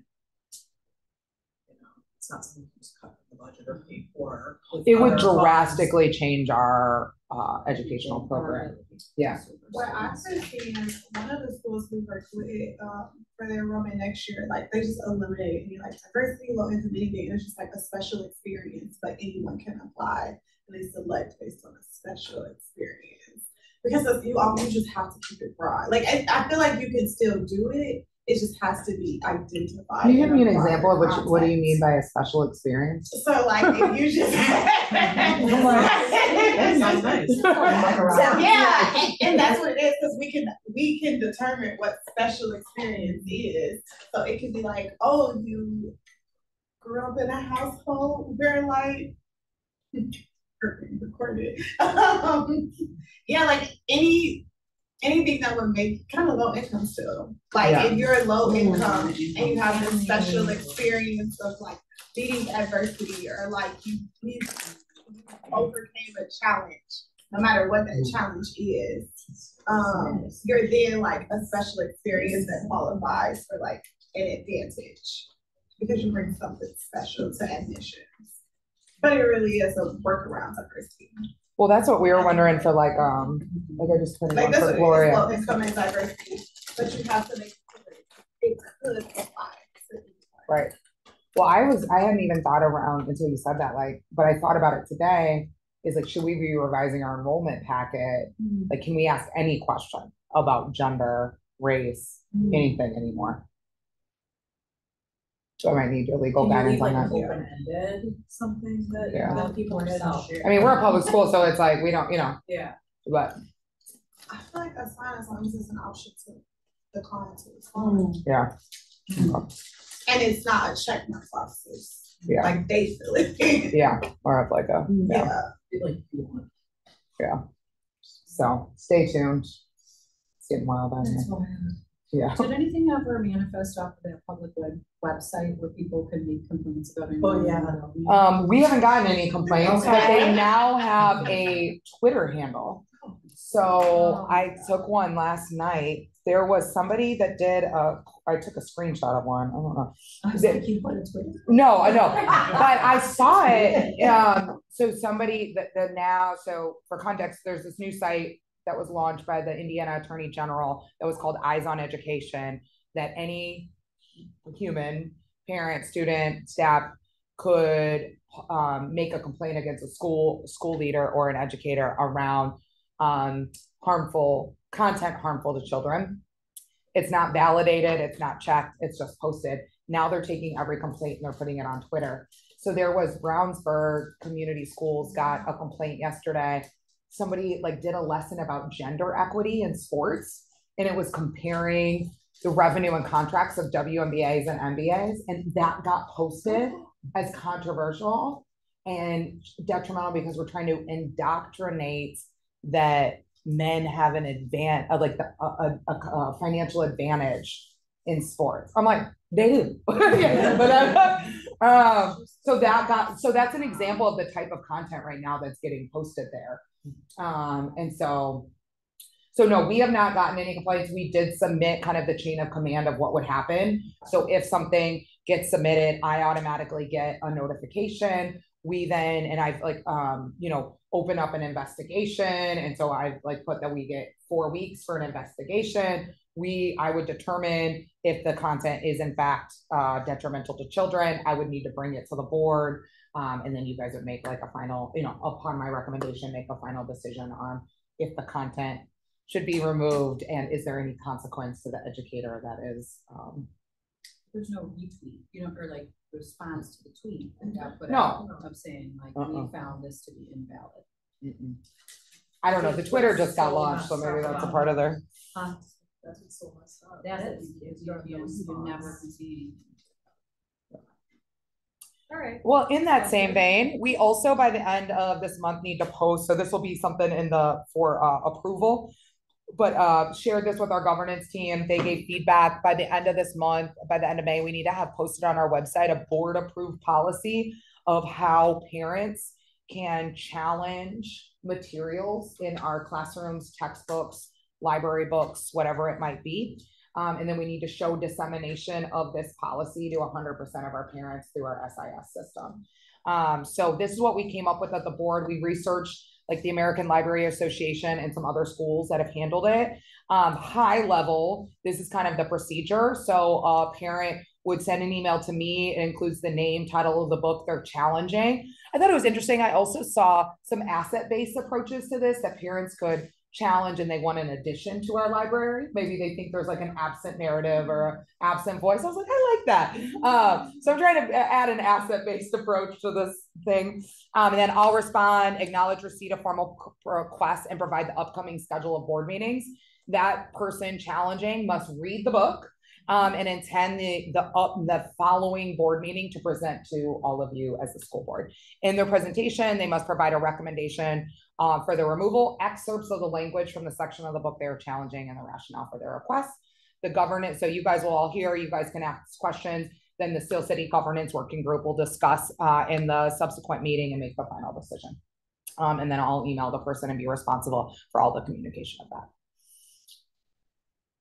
Any questions? And then uh, one other point to note, while if a item or um, is being challenged, I did put that it will remain on our shelf and available to the school community until a decision is made. Um, we'll vote at the end, but any questions, any feedback, any thoughts on that? so crazy how much we have to think about every little thing. Have we ever had anyone challenge like? We have had um, challenges to classroom decor. Mhm. Um, but that has been no, we've had, we, I mean, I think we do a good job of getting parent consent for, you know, videos or even surveys or whatever it is, but so we'll have people opt out. Um, to experiences or learning experiences, like a middle school sex ed program or whatever it might be, but, um, so we have opt out for sure. Okay. Um, but have the systems in place, like even before we survey children, we do, you know, a survey and, you know. But, um, no, no curricular challenging yet. But I, I do think, you know, you don't know what you don't know. I think once this gets emailed out, we could see it. Um, I haven't done a lot of forceful communication around like, this is a new law, you know, but now they're requiring we show proof of hundred percent dissemination of our parents of this new law and the policy of how to. So that's what's happening in governance. Wild place there right now. Erica, I will remove from the, um, send me your bio info. Yeah. My apologies. You know, I was gonna say that in my email. Great, you reviewed, and said this looks good. I know. I was gonna say that. I was like, "Let me shoot it." This is my punishment. I'm like, no, I can't have the governance team being the last one to send this to me. I will, alright. because she talking about me too. I was, I was talking about her too. Her name wasn't quite in caps, but she was close. I'm not writing that down. Like, it definitely have to be recorded. Be leading compliance That's here. a good So, example. supposed to be the example. Right? I'm just like, I'll get in her inbox, just a gentle nudge. No, it's when I get the text message. Yeah, no, that's, No, that's my communication mode three to you. Oh, I know, I got one. I got one now. Just a reminder about sending out the board email. Yeah, on it. On it. Uh, Catherine, what do you think? I know you all are very busy. That's my job to manage it up. We're sorry again, so you have to keep us in mind. I needed the nudge, I'm not. I don't know. We all do sometimes, and I'm happy to provide it. No, that's what I tell my people. I'm here to nudge you. Like, just waiting for mine. Yeah. Yours is coming for our weekend work block to finalize the budget. All right, You Yep. one coming. Yeah, She's got a she's- text. I'm waiting for your nudge until after this meeting. See you here on Saturday. Okay, so, um, financial report. I don't have a lot to share, Katie has more updates, but, uh, the work that we've done since we met, met last. Uh, we reviewed the January, February, March, or quarter three, uh, budget actuals. And we updated our financial health metrics, you can see they're all green. Another thing that I didn't add on here is we finalized our, the review of the Form nine ninety, that's the tax return. Um, so it's all signed, sealed, delivered on time. Could have added that to compliance. Yeah, on time. Uh, as for kind of our financial, um, forecasts and results, nothing's really new, we're still trending um, on target for our base revenue, our competitive revenue, is being shared, and then our expenses. We do have some additional expenses with the acquisition of the building, so it's the building expenses, and those like pre, uh, what do you call it, soft, soft Soft costs. house. Um, that we're tracking and just kind of keeping record of so that we can wrap them into a whole. Um, financing package that we do. Um, yeah, I think it's pretty much. it. I think some of the work that we're gonna be doing is. Like working on preliminary budget. and getting that ready to go, but That's easy. Katie? Um, so yeah, living in financial health, I think, um, particularly folks that have been with us for a while, I think that's like our cash flow and cash on hand is something that will just like, I mean, starting to keep me up at night now, right? Not because we're in a deficit, but because like we're about to have a lot of costs in ESSER. So I'll just be sharing a lot more financial health indicator updates on like, how are we tracking on cash on hand? And so, you know, you'll kind of see like right now we're at about two point three million cash on hand at end of April. Um, and then we're also like one of our priorities on the finance working group has been starting to dabble like with some low hanging fruit of earning interest and having our money make money. Um, I've kind of gotten obsessed with it. Like at the end of the statement now, I'm like, how, how much money have we wanted? Like I can see how people get addicted to this. Like I'm ready to start doing some liquid CDs and moving stuff around. Uh, but even like just since January, we've like earned, you know, almost fifteen thousand dollars just on interest, you know. Um, and so we're starting to like really think about um, how branching out on additional uh, investment strategies and Anthony's like kind of leading that charge and being my thought partner with that. Our next big milestone and marker is working on our preliminary budget. This is really probably our most like critical budget uh, in the last few years because we're removing ESSER starting on 930. So we're really trying to have a proof point of our financial health and financial sustainability when this large influx of federal funds are removed, right? Compounded by the fact that we have all of these one-time facility costs that we're needing to front until we close on a finance package, right? So we're kind of running all of those concurrently, which is why I'm checking our cash on hand every day. Uh, so, um, so yeah, Catherine and I are working on our budget, working with our leadership team and me doing a lot of just change management, both with our leadership team and our overall staff. Like we've gotten spoiled the last few years. Uh, it's going to start feeling tighter, both because of the facility and Esser. So even when I did like my announcement to staff about the building and talked about what's next, it's like, here's how you can get involved. Oh, and also just like when you buy a house, like we're officially on a budget as of today, you know, and so like just managing that expectation. So um, we are uh, considering a, a, some potential FTE cuts. Um, not as much based upon ESSER, but we are also, there are plans that we'd be losing our GEO post-secondary grant, which funds our entire college and career department. And as you can see by the numbers, they're doing phenomenal work. Uh, and so we're trying to find other grants to supplant um, this GEO grant that's been running with us for um, the last three years. We're also working as a finance team to just do a lot of market research around cost of living adjustments and how do we uh, find the right value that you know um, makes our staff feel like positive and appreciated while also being really conservative from a budgetary standpoint. So we're landing like in between the the two and three percent, um, which was just affirmed and validated at the business officials meeting last week. Um, so feeling good about where that's at. Um, and then in terms of ESSER, um, we are chipping away, so we feel really confident about where we're at in terms of um, spending that down. At end of April, we still have about six hundred twenty-two thousand dollars um, remaining that needs to be spent by nine thirty. We went through every line item because those aren't just like a big pot of money. Those dollars are allocated in different object codes and for different purposes. So we went through those costs. There was about $383,000 that were like, we don't feel 100% confident we could spend this down for like remediation programs salaries, for example. Um, and so we submitted an amendment to get 383 of those of that 622,000 reallocated to transportation and facility costs, which we know are known costs. Um, that would really be able to support from a cash on hand budget relief standpoint. Um, so um, feel really good about that. Other um, key result three is just around financial controls uh, and the onboarding of new team members. So as Cashin mentioned, we've successfully completed our Form 990 for the first time as a new finance team and got that as well as our ICSB reports. And then um, Catherine and I are working on getting all of our capitalized assets. It's like going to be really critical now, and we want to just make sure we're starting July 1st fresh um, with a lot of the the big expenses that are coming. And then um, we're spending a lot of duplicative time and effort running two financial systems right now um, because we're required as a charter to do accrual accounting, required by the state to do cash reporting. And so we're just spending a lot, like we have to do payroll in both and hard code in. It's just like a lot. And so that's like our big research project to think about freeing up some much needed bandwidth on our finance team. Um, facility financing. So as a finance working group, we went in and talked a little bit about project costs.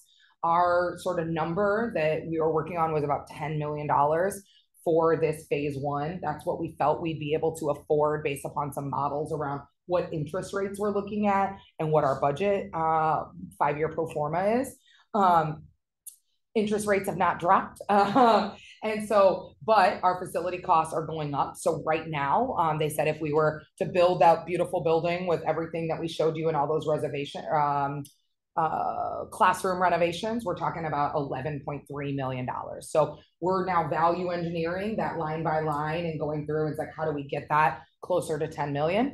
Um, the really good news is that um, the state has released what's called the Common School Loan. Um, and historically, charter schools have never not been able to apply for this. And from this is a positive note of legislation. Now charter schools are eligible to apply. The reason this is important is we can apply for about 10, $9.3 million, and it's at a 1% interest rate over 25 years. So this is a huge game changer because what we are able to afford drastically change if we can get a $9.3 million loan at 1%. Um, the challenge is that, you know, there's no such thing as free money. So they released the application on March, May 9th. It's due May 31st. So our team is working diligently to get this all in. Um, and in that application, we need to submit a very detailed project cost, which I feel really good about where we're at with that. We need to uh, submit a really detailed project plan. I feel really good about that. And then we need letters from like our authorizer that we're in good standing. Before we uh apply, it will also need a board signature, so just keep your inboxes ready. That last week of May, I will do some not gentle nudges, hard nudges. Um, my goal is that we get that submitted May 29th, just so it gets, you know, um, but that's that's a really big deal. Um, because interest rates haven't dropped, so the other people we're talking to right now are at like 7.5 percent.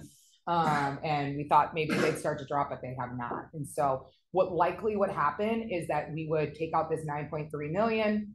Um, and then we would take out a much smaller loan at that interest rate, probably on a shorter term, so that we could renegotiate the terms of the loan, hopefully once rates drop. Um, so we're working on that package, but our priority one is if we can secure this nine point three, it's, it's just a game changer for us financially, um, in terms of what we can do and what our cash flow will be. When do they need to? We know July first. So the nice thing is they give us a tight turnaround for the app, but they also communicate it, uh, very closely. So we have a call with, um, the Indiana Treasury Office because they actually, the money wouldn't come from the Department of Education, it comes from the Treasury's office. And so we're meeting with them sometime this week, um, to talk about like what repayment structure. The nice thing is, is they just deduct the money from our monthly allocation we get from the state. So we don't pay anybody, you know, it's sort of their collateral, right? We, if you have butts in the seats, we're taking your money. Um, and it gives them less liability and risk, particularly for a charter school. But, um, what we don't know is when we get that money, when the repayment structure starts, and so we're meeting at the treasurer's office this week. Cool. Um, yeah, and then the only other big thing, the, the other game changer for us financially is they are also releasing a new round of what's called the charter school program, Quali- Quality Counts Program.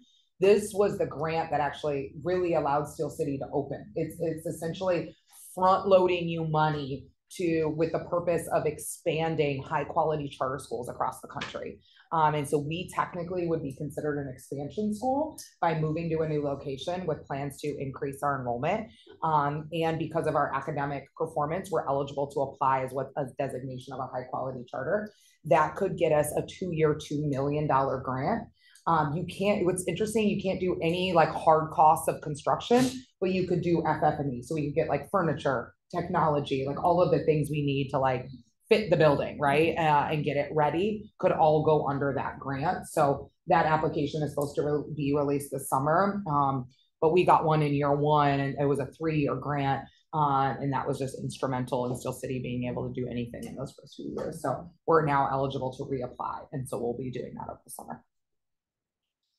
Um, and then we're also going to start, now that we have a building, I reconnected with my former capital campaign coach, Andrea, and we're gonna work to launch a capital campaign. Um, so, you know, we're excited because once we get our, our project budget really solid, well, then we'll do some specific asks around like the computer lab or the, you know, the library or the playground or start to reach back out of this donor base that we have, both corporations and individual givers, um, to start donating to a capital campaign. So our goal is that we're ready to launch that by like July or August. Naming rights. Pardon me? Give naming rights. Naming rights, right. Who wants to name The, interestingly enough, I just read an article that the Jackson family, um, just did a huge financial contribution to Lake Ridge schools. So, um, so I'm interested to, you know, and yeah, it's a naming rights of their auditoriums. Um, and then key result five, successful audit, check. Yeah, that was it. All right, any finance questions? So Catherine, you have any, anything else to add? The June meeting, though, that's, why is that still considered a preliminary budget? Isn't that final? Um, so, Didn't we do final budget during our? Oh, I guess that is.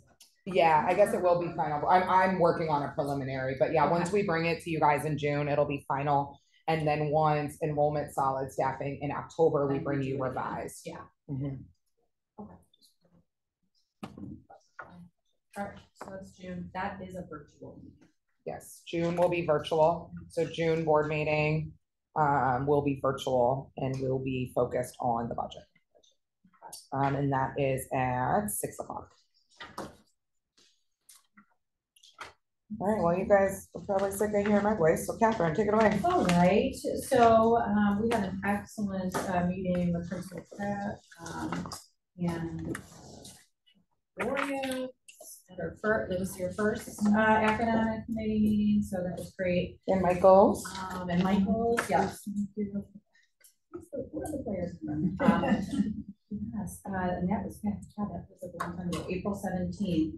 Um, on our report, we do have our academic working group key priorities as well. Um, many of them are listed out and reported out on at this point, but not everything has been met in terms of all the academics. So there will be a final, final, um, uh, update, which, uh, will get us to all of these, um, you know, K through twelve full, um, outcomes with all of the academic outcomes. So, um, I also do encourage you, if you're able to get the electronic documents to work, Principal Pratt in this, um, principal report link, there is a PowerPoint that is very detailed if you really want to dig into any of the academics or questions around, um, what is going on in, in a little bit more detail. Um, that is always, um, available to anyone as well to look at. Um, but, uh, the way this is organized is the way that Principal Pratt organizes it, which is outcomes, strategies that she feels like got us to those outcomes, and then course correction. So for every section that she reports out on, she gives us the headline of the data and where we're at, and then, um, the celebrations there and the outcomes, uh, any course corrections that are happening. So, um, on track, uh, eighth grade to twelfth grade, twenty percent increase of students on grade level proficiency as measured with FastBridge from beginning of year to end of year. And then there's specific statistics, um, listed there, uh, around the averages, um, and where our students are performing right now. So a lot of celebrations there in detail, um, and that real difference there, at the one that's highlighted, the gap closing difference between state went from hundred and fifty points below um, to only eighty-seven points below the state average, um, which is a celebration. So we basically um, almost cut that in half. Um, so strategy, strong culture of learning increased um, enrollment at the IUN Career Center.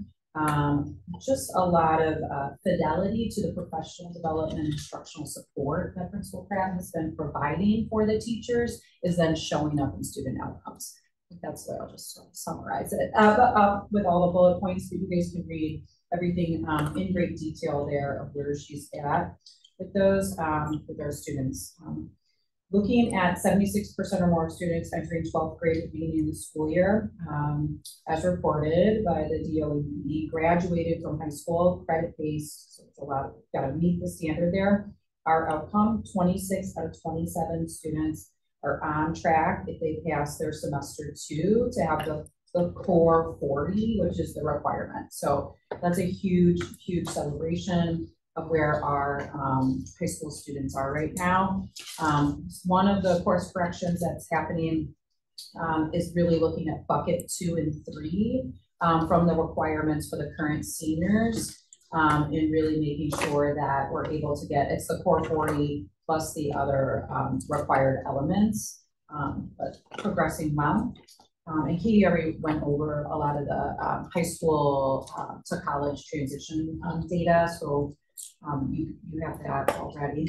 Now, this I read, this is important data because that correlates to the new state law of students being held back and whatnot. So you can see all the data listed there where um, we were at with outcomes from 22, 23, and then in our um, 24 um, outcomes here. So as, oh, you were right, Kate.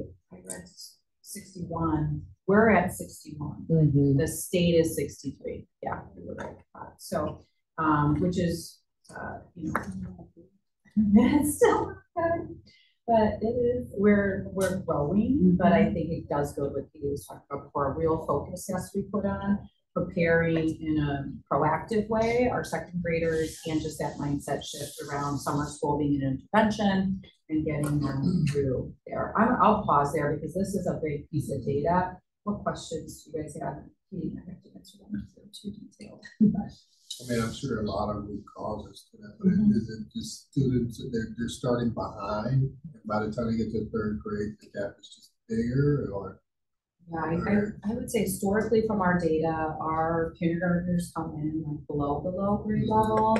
And so then there, even though when you look at our kindergarten data, for example, there's big growth happening, they're still not pushing into that green spot. So they're growing, that's my simplest way of breaking it down, but like there's a progression happening, but still not pushing them up Mhm. and over that. Would you say that's? Yeah, I think that's right. I think also, you know, this is kind of like our last group of kids taking the iRead who started kindergarten in COVID. Yeah. So they were like online and, you know, they just did not get quality instruction, right? Mhm. Um, and so we're still navigating massive COVID academic gaps. Mhm. Um, and then I think, you know, there's been a lot of research and change of like how to teach reading. Um, and I think frankly, in our first few years of Steel City, we were not doing it well or correctly. And so that's why we joined that literacy cadre. Um, and we're getting ready to go into our third year, but it's like, it has to start actually like before kindergarten. Um, and so to that point, like we've started bringing in kindergartners for kindergarten readiness assessment and doing this summer, we're offering kindergarten gear up, like kids like entering kindergarten with us. Like we have to start reading instruction now. Like we- we're already behind, you know? Yeah. Um, and so with like letter recognition and sounds and all of that. And so it's not a third grade issue, right? It is a from birth, early childhood, a lack of quality pre-K options and Gary. I mean, there's so many um that yeah and, and I, I would say that's in its simplest terms is the you know it's already starting behind uh poor quality reading instruction um and i think we're trying to course correct on both of those.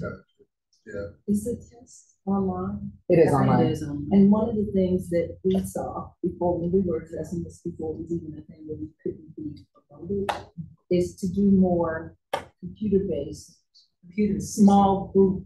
interventions in class, during class, so that they use, because a lot of times kids know how to do it, they aren't finishing, because they aren't reading, they aren't doing enough nonfiction text during Mhm. instruction, and everything they do with their teacher is like in person, and then now all of a sudden you gotta do it yeah other than NWEA. So like doing more stuff with are using the computer to answer Mhm. questions or type. yeah like how do we ensure that technology technological literacy is Yes, not a barrier yes Mhm. Which i think we've done a good job of in terms of you know covid i mean the kids will know how to use an ipad um but how are they getting mirrored um Yep. academic experiences to that Does the state publish like, um, statistics and around the demographics of this, this group, right? Are you? Oh, yeah, I mean, it's totally disaggregated by race and poverty level, Mhm. yeah. Such a big economic and racial divide. absolutely. Mhm. So I if mean, you to look give at you an gross idea, numbers, You would probably say. well, well, exactly, so, Probably forty percent yeah, only. yeah, that's actually interesting, I'd love to like, so last year, just to give you an idea, last year, after our second administration, right, we were at sixty-two percent, so really close to where we were this year. We had the third highest in the state for charter schools. Oh, wow. at sixty-two percent. And charter schools typically serve low-income students of color, right? And so that's a more of our comp and our peer group than looking at like all districts. We are the third highest at sixty-two percent. Wow. Um, and so in, but to give you, you know, even at the state right now, it's only sixty-three percent, and that's inclusive of all groups. Mhm. And so it is, it's, yeah. When is the? Sorry. When is what? When is it? Spring, yeah, um, it's like end of March, all my testing is, end of March, and then we're doing our second administration the first week of June. And so what we've done is identified, okay, who were our kids that did not pass? We put them into two buckets. We have like our, you know, our bubble kids. Um, and then they're getting two days of additional in, uh, in school, small groups aligned to one of the pillars of the science of reading. And then our students who are our tier three kids who are significantly behind are getting those small groups and after school, like really intense intervention and small groups with Coach Kelly. Anything parents can do at home? Do they know the, like, importance of this? and- I don't, not just. parents. Yeah, I mean, you're a third grade parent. I don't know if you want to, that- yeah. I mean, it's What pretty this specific means, what goes like, on. Yeah. Right, of like, what a blend is, how to like.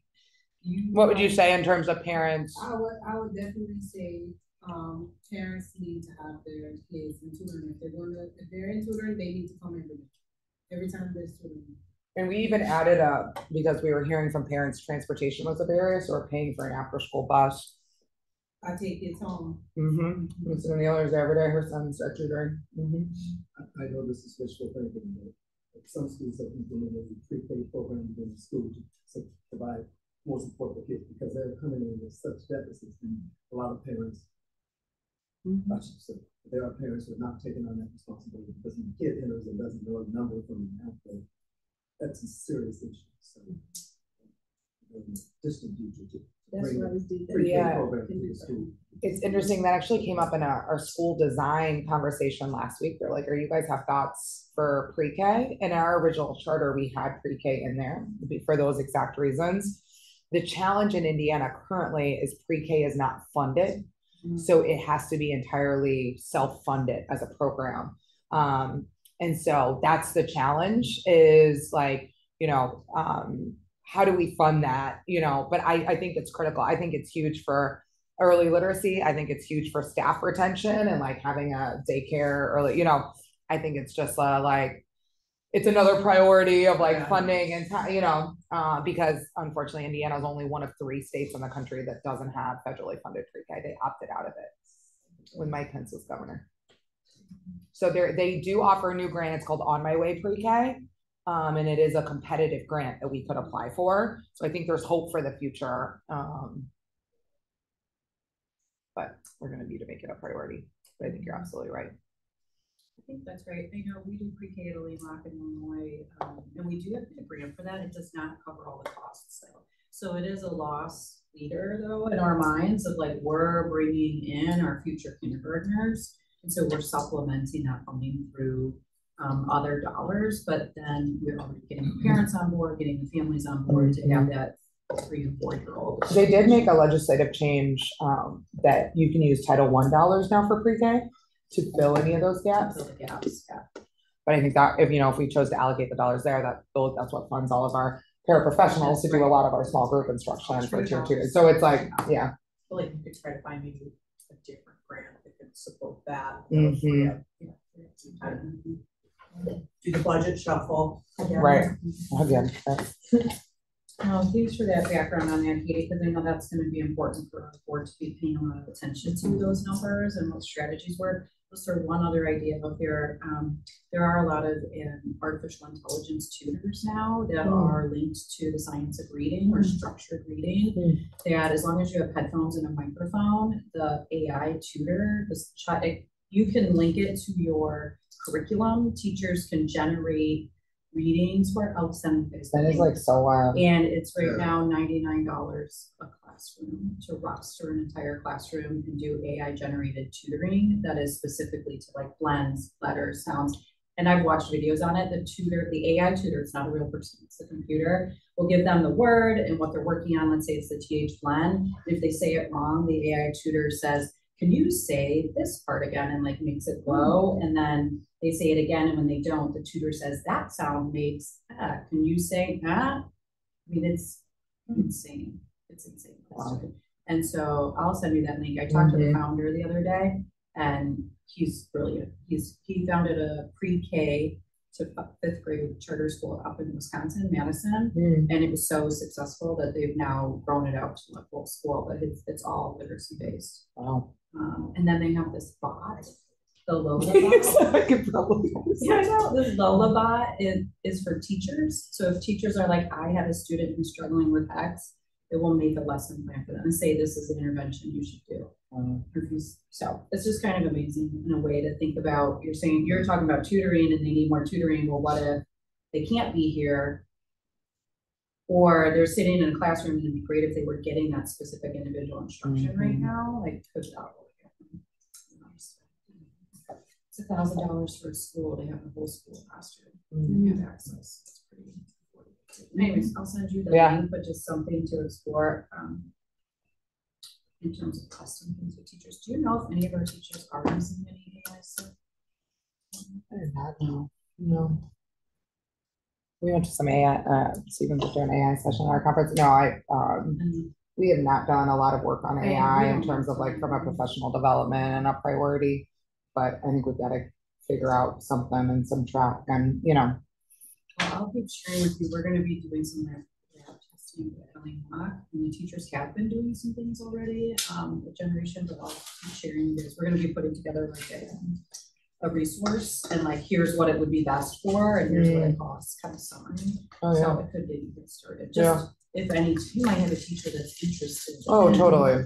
Um, Yeah. can sort of start some testing. It's Yeah. A main priority of the school, but Yeah. there's a lot of Yeah, we might have somebody to pilot it. Right now, we're like, do you know how to teach somebody how to read? I know. Yeah. I know, but it's, it's, yeah, it's a balance of like, do you really have time for that, or how do you use it efficiently? Um, okay, so some of the things, just to move on, then, um, as she said, as Katie had said, the second administration is projected for the week of the third there. Um, and then. Yeah, I will just note what we're aiming for based upon our data is where our goal is seventy-four percent. Like, we believe we've got three kids that we can definitely get there. Um, the state goal this year that they put out for all schools is seventy-five percent. So I think we could get really, really, really close. Mm, great, and. Um, and then, um, in terms of some things that are off track, just to raise this up for everyone. Um, fifty percent of diverse learners are passing the iRead. Um, you can see the percentages there, uh, sixteen percent in third, fifth, twenty-eight percent, um, in that grade three, to those second, so. And then zero in uh, grades four and five, so work that's being done there. Um, that's very specific around the specific students and what supports, um, are happening. Um, and one of those is required tutoring attendance, because really what you need is individualized, more intensive instruction. um, And that high dosage tutoring. Let's see, okay, some campus celebrations though, um, all of the multi, uh, multiple field trips that are happening and really diverse um, sort of experiences for everyone, which is exciting, multiple college tours um, that are happening, and then, um, they did do special persons day, if you follow social media, the folks posted with some great pictures. Um, and then parents have been engaged with chaperoning field trips. Um, and then this post-secondary pathways, ninety-six point three percent of seniors with their post-secondary option aligned, uh, with their pathways. Um, that was just a really big celebration that one school practice, really proud of. Um, I think some of this re-enrollment stuff is actually was updated in Keating's report since April. Um, and so that's not necessarily the most recent data anymore, but that end of year testing will happen June 11. Um, potentially, not, you know, I think the way we've said it, it won't have anything for June It 14th. will be completed by June eleventh, not on June eleventh. Okay, completed by June eleventh, yeah. June eleventh, we're at, we're out of here. We're not- Yeah. Nobody's doing any more testing. I'm like, I would just like to correct that statement. It's not adding up, um, but as soon as, um, I get, I think we put something on the calendar for our next academic committee meeting, as soon as we have that all summed up, we'll share all those final data. A quick question, what is, uh, diverse learners? What is- That is what used to be special education. Okay. Gotcha. Yeah. Really good for. So Diverse learners or English language learners. Got it. Got. We also use it, ELLs, you see ELAs. and so.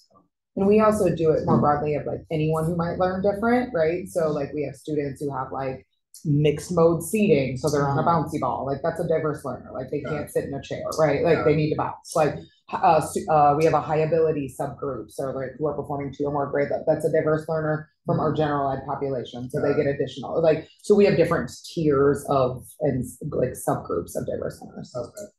I realized that. I only knew the definition of the state allocated funds Yeah. for diversity. And for us, we broaden our definition of anybody who just learns in a different way. Like, how do we have an individualized learning plan for you and different experiences? They'll go into third grade, they're just like bouncing on a little ball. Mhm. Oh, yeah, our next meeting is June twenty-sixth at one PM. Anyone wants to attend? Yeah, just to plug, we've got some upcoming events too that we'd love, uh, anybody that's interested. So Eric had asked, but Sunday, May twenty-sixth at two o'clock, we have our high school graduation. Uh, if you have not been or seen, this is a unique graduation experience. It's at the Railcats Baseball Stadium. Um, so I'll add that to calendars if it's not on there. What time Uh, it start to graduate? Starts at two o'clock. And we are just, uh, just so you know, for Steel City norms, we are like, if it, we say we're starting at two, we start at two. Uh, and we close the doors at two. Thank you. Um, so like, it, it- that's taken a while for sometimes, uh, but we are, uh, we start on time and on time, and we run a very tight ship, that'll be like a forty-five minute. We're slow. Um, yeah, so I'll send out, if you just wanna let me know if you're coming, we'll have tickets up at the door, uh, it is a ticketed event, so you'll need it, but it's a baseball stadium, so there's lots of room, so bring, bring guests, bring friends, bring whoever you like, you came last year. Yeah, yeah, um, so it's, it's a fun event, students, um, in this way of individualizing and aligning to our joy core values, students pick their walk-up song, so a song that like represents who they are and that has celebrated the completion of this journey and on to the next, and and then I edit all the songs, so they have thirty seconds of whatever the lyrics they want, and they walk from first base to home plate with their walk-up song playing. I make all the graphics that go up on like the um, billboards with their like uh, academic stats and like, you know, so it's a fun, it's a fun event. It's not in like a gym where you're super stuffy and hot and bored, yeah. Question.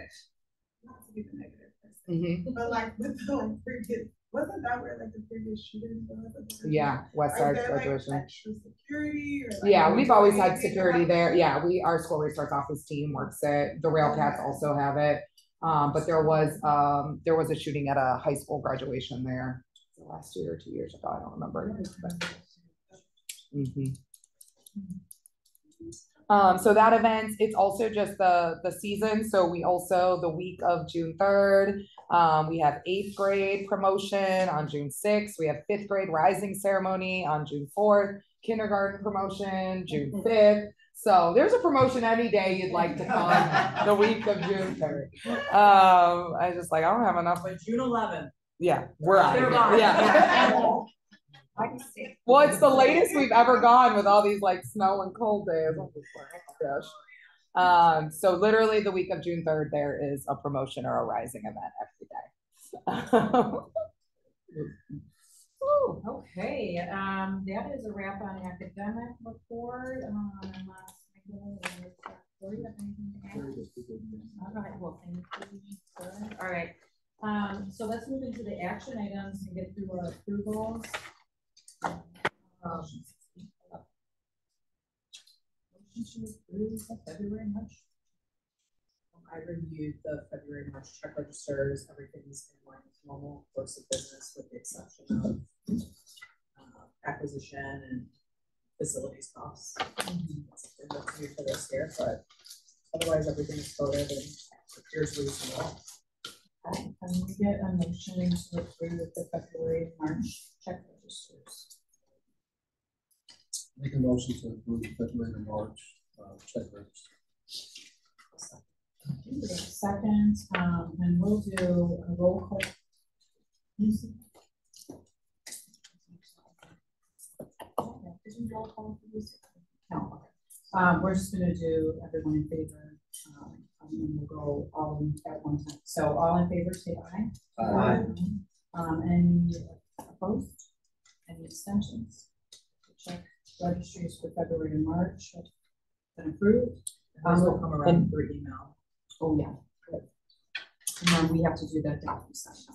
Okay, mm-hmm. So I'll get those out this week. And then follow up, we've got a, it's live for a week, so if I don't hear from you, I'll give a gentle nudge. I feel like one day. I like there's, there's like Jen's board. Yeah, there's a hard nudge. Erica's going to get the hard nudge. And then it's all caps. or, you know? You're on public class. um, board- board meeting. Um, all right, now the Eats Enterprises, uh, food vendor, uh, motion that was presented by Katie earlier. Katie, do you want to say anything else about? this? Nope, Just, this is the recommendation we're making, uh, to move forward with Eat Enterprises due to our staffing model and storage capacity challenges. Um, we'd like to move forward with them as our vended meals bid for the next school year. Can I get a motion? I Make a motion to move forward with Eat Enterprises as the food vendor. Let's all in favor, say aye. Aye. Any opposed? Any abstentions? The motion passes. Thank you. For next year. All right, and the last is the Steel City Academy policy to challenge instructional materials. Um, Katie went over that earlier in her ED presentation and uh, walked us through all the details of that, um, so that that can be shared out with uh, families. Um, any questions? Okay, can I get a motion to approve this? Go Uh,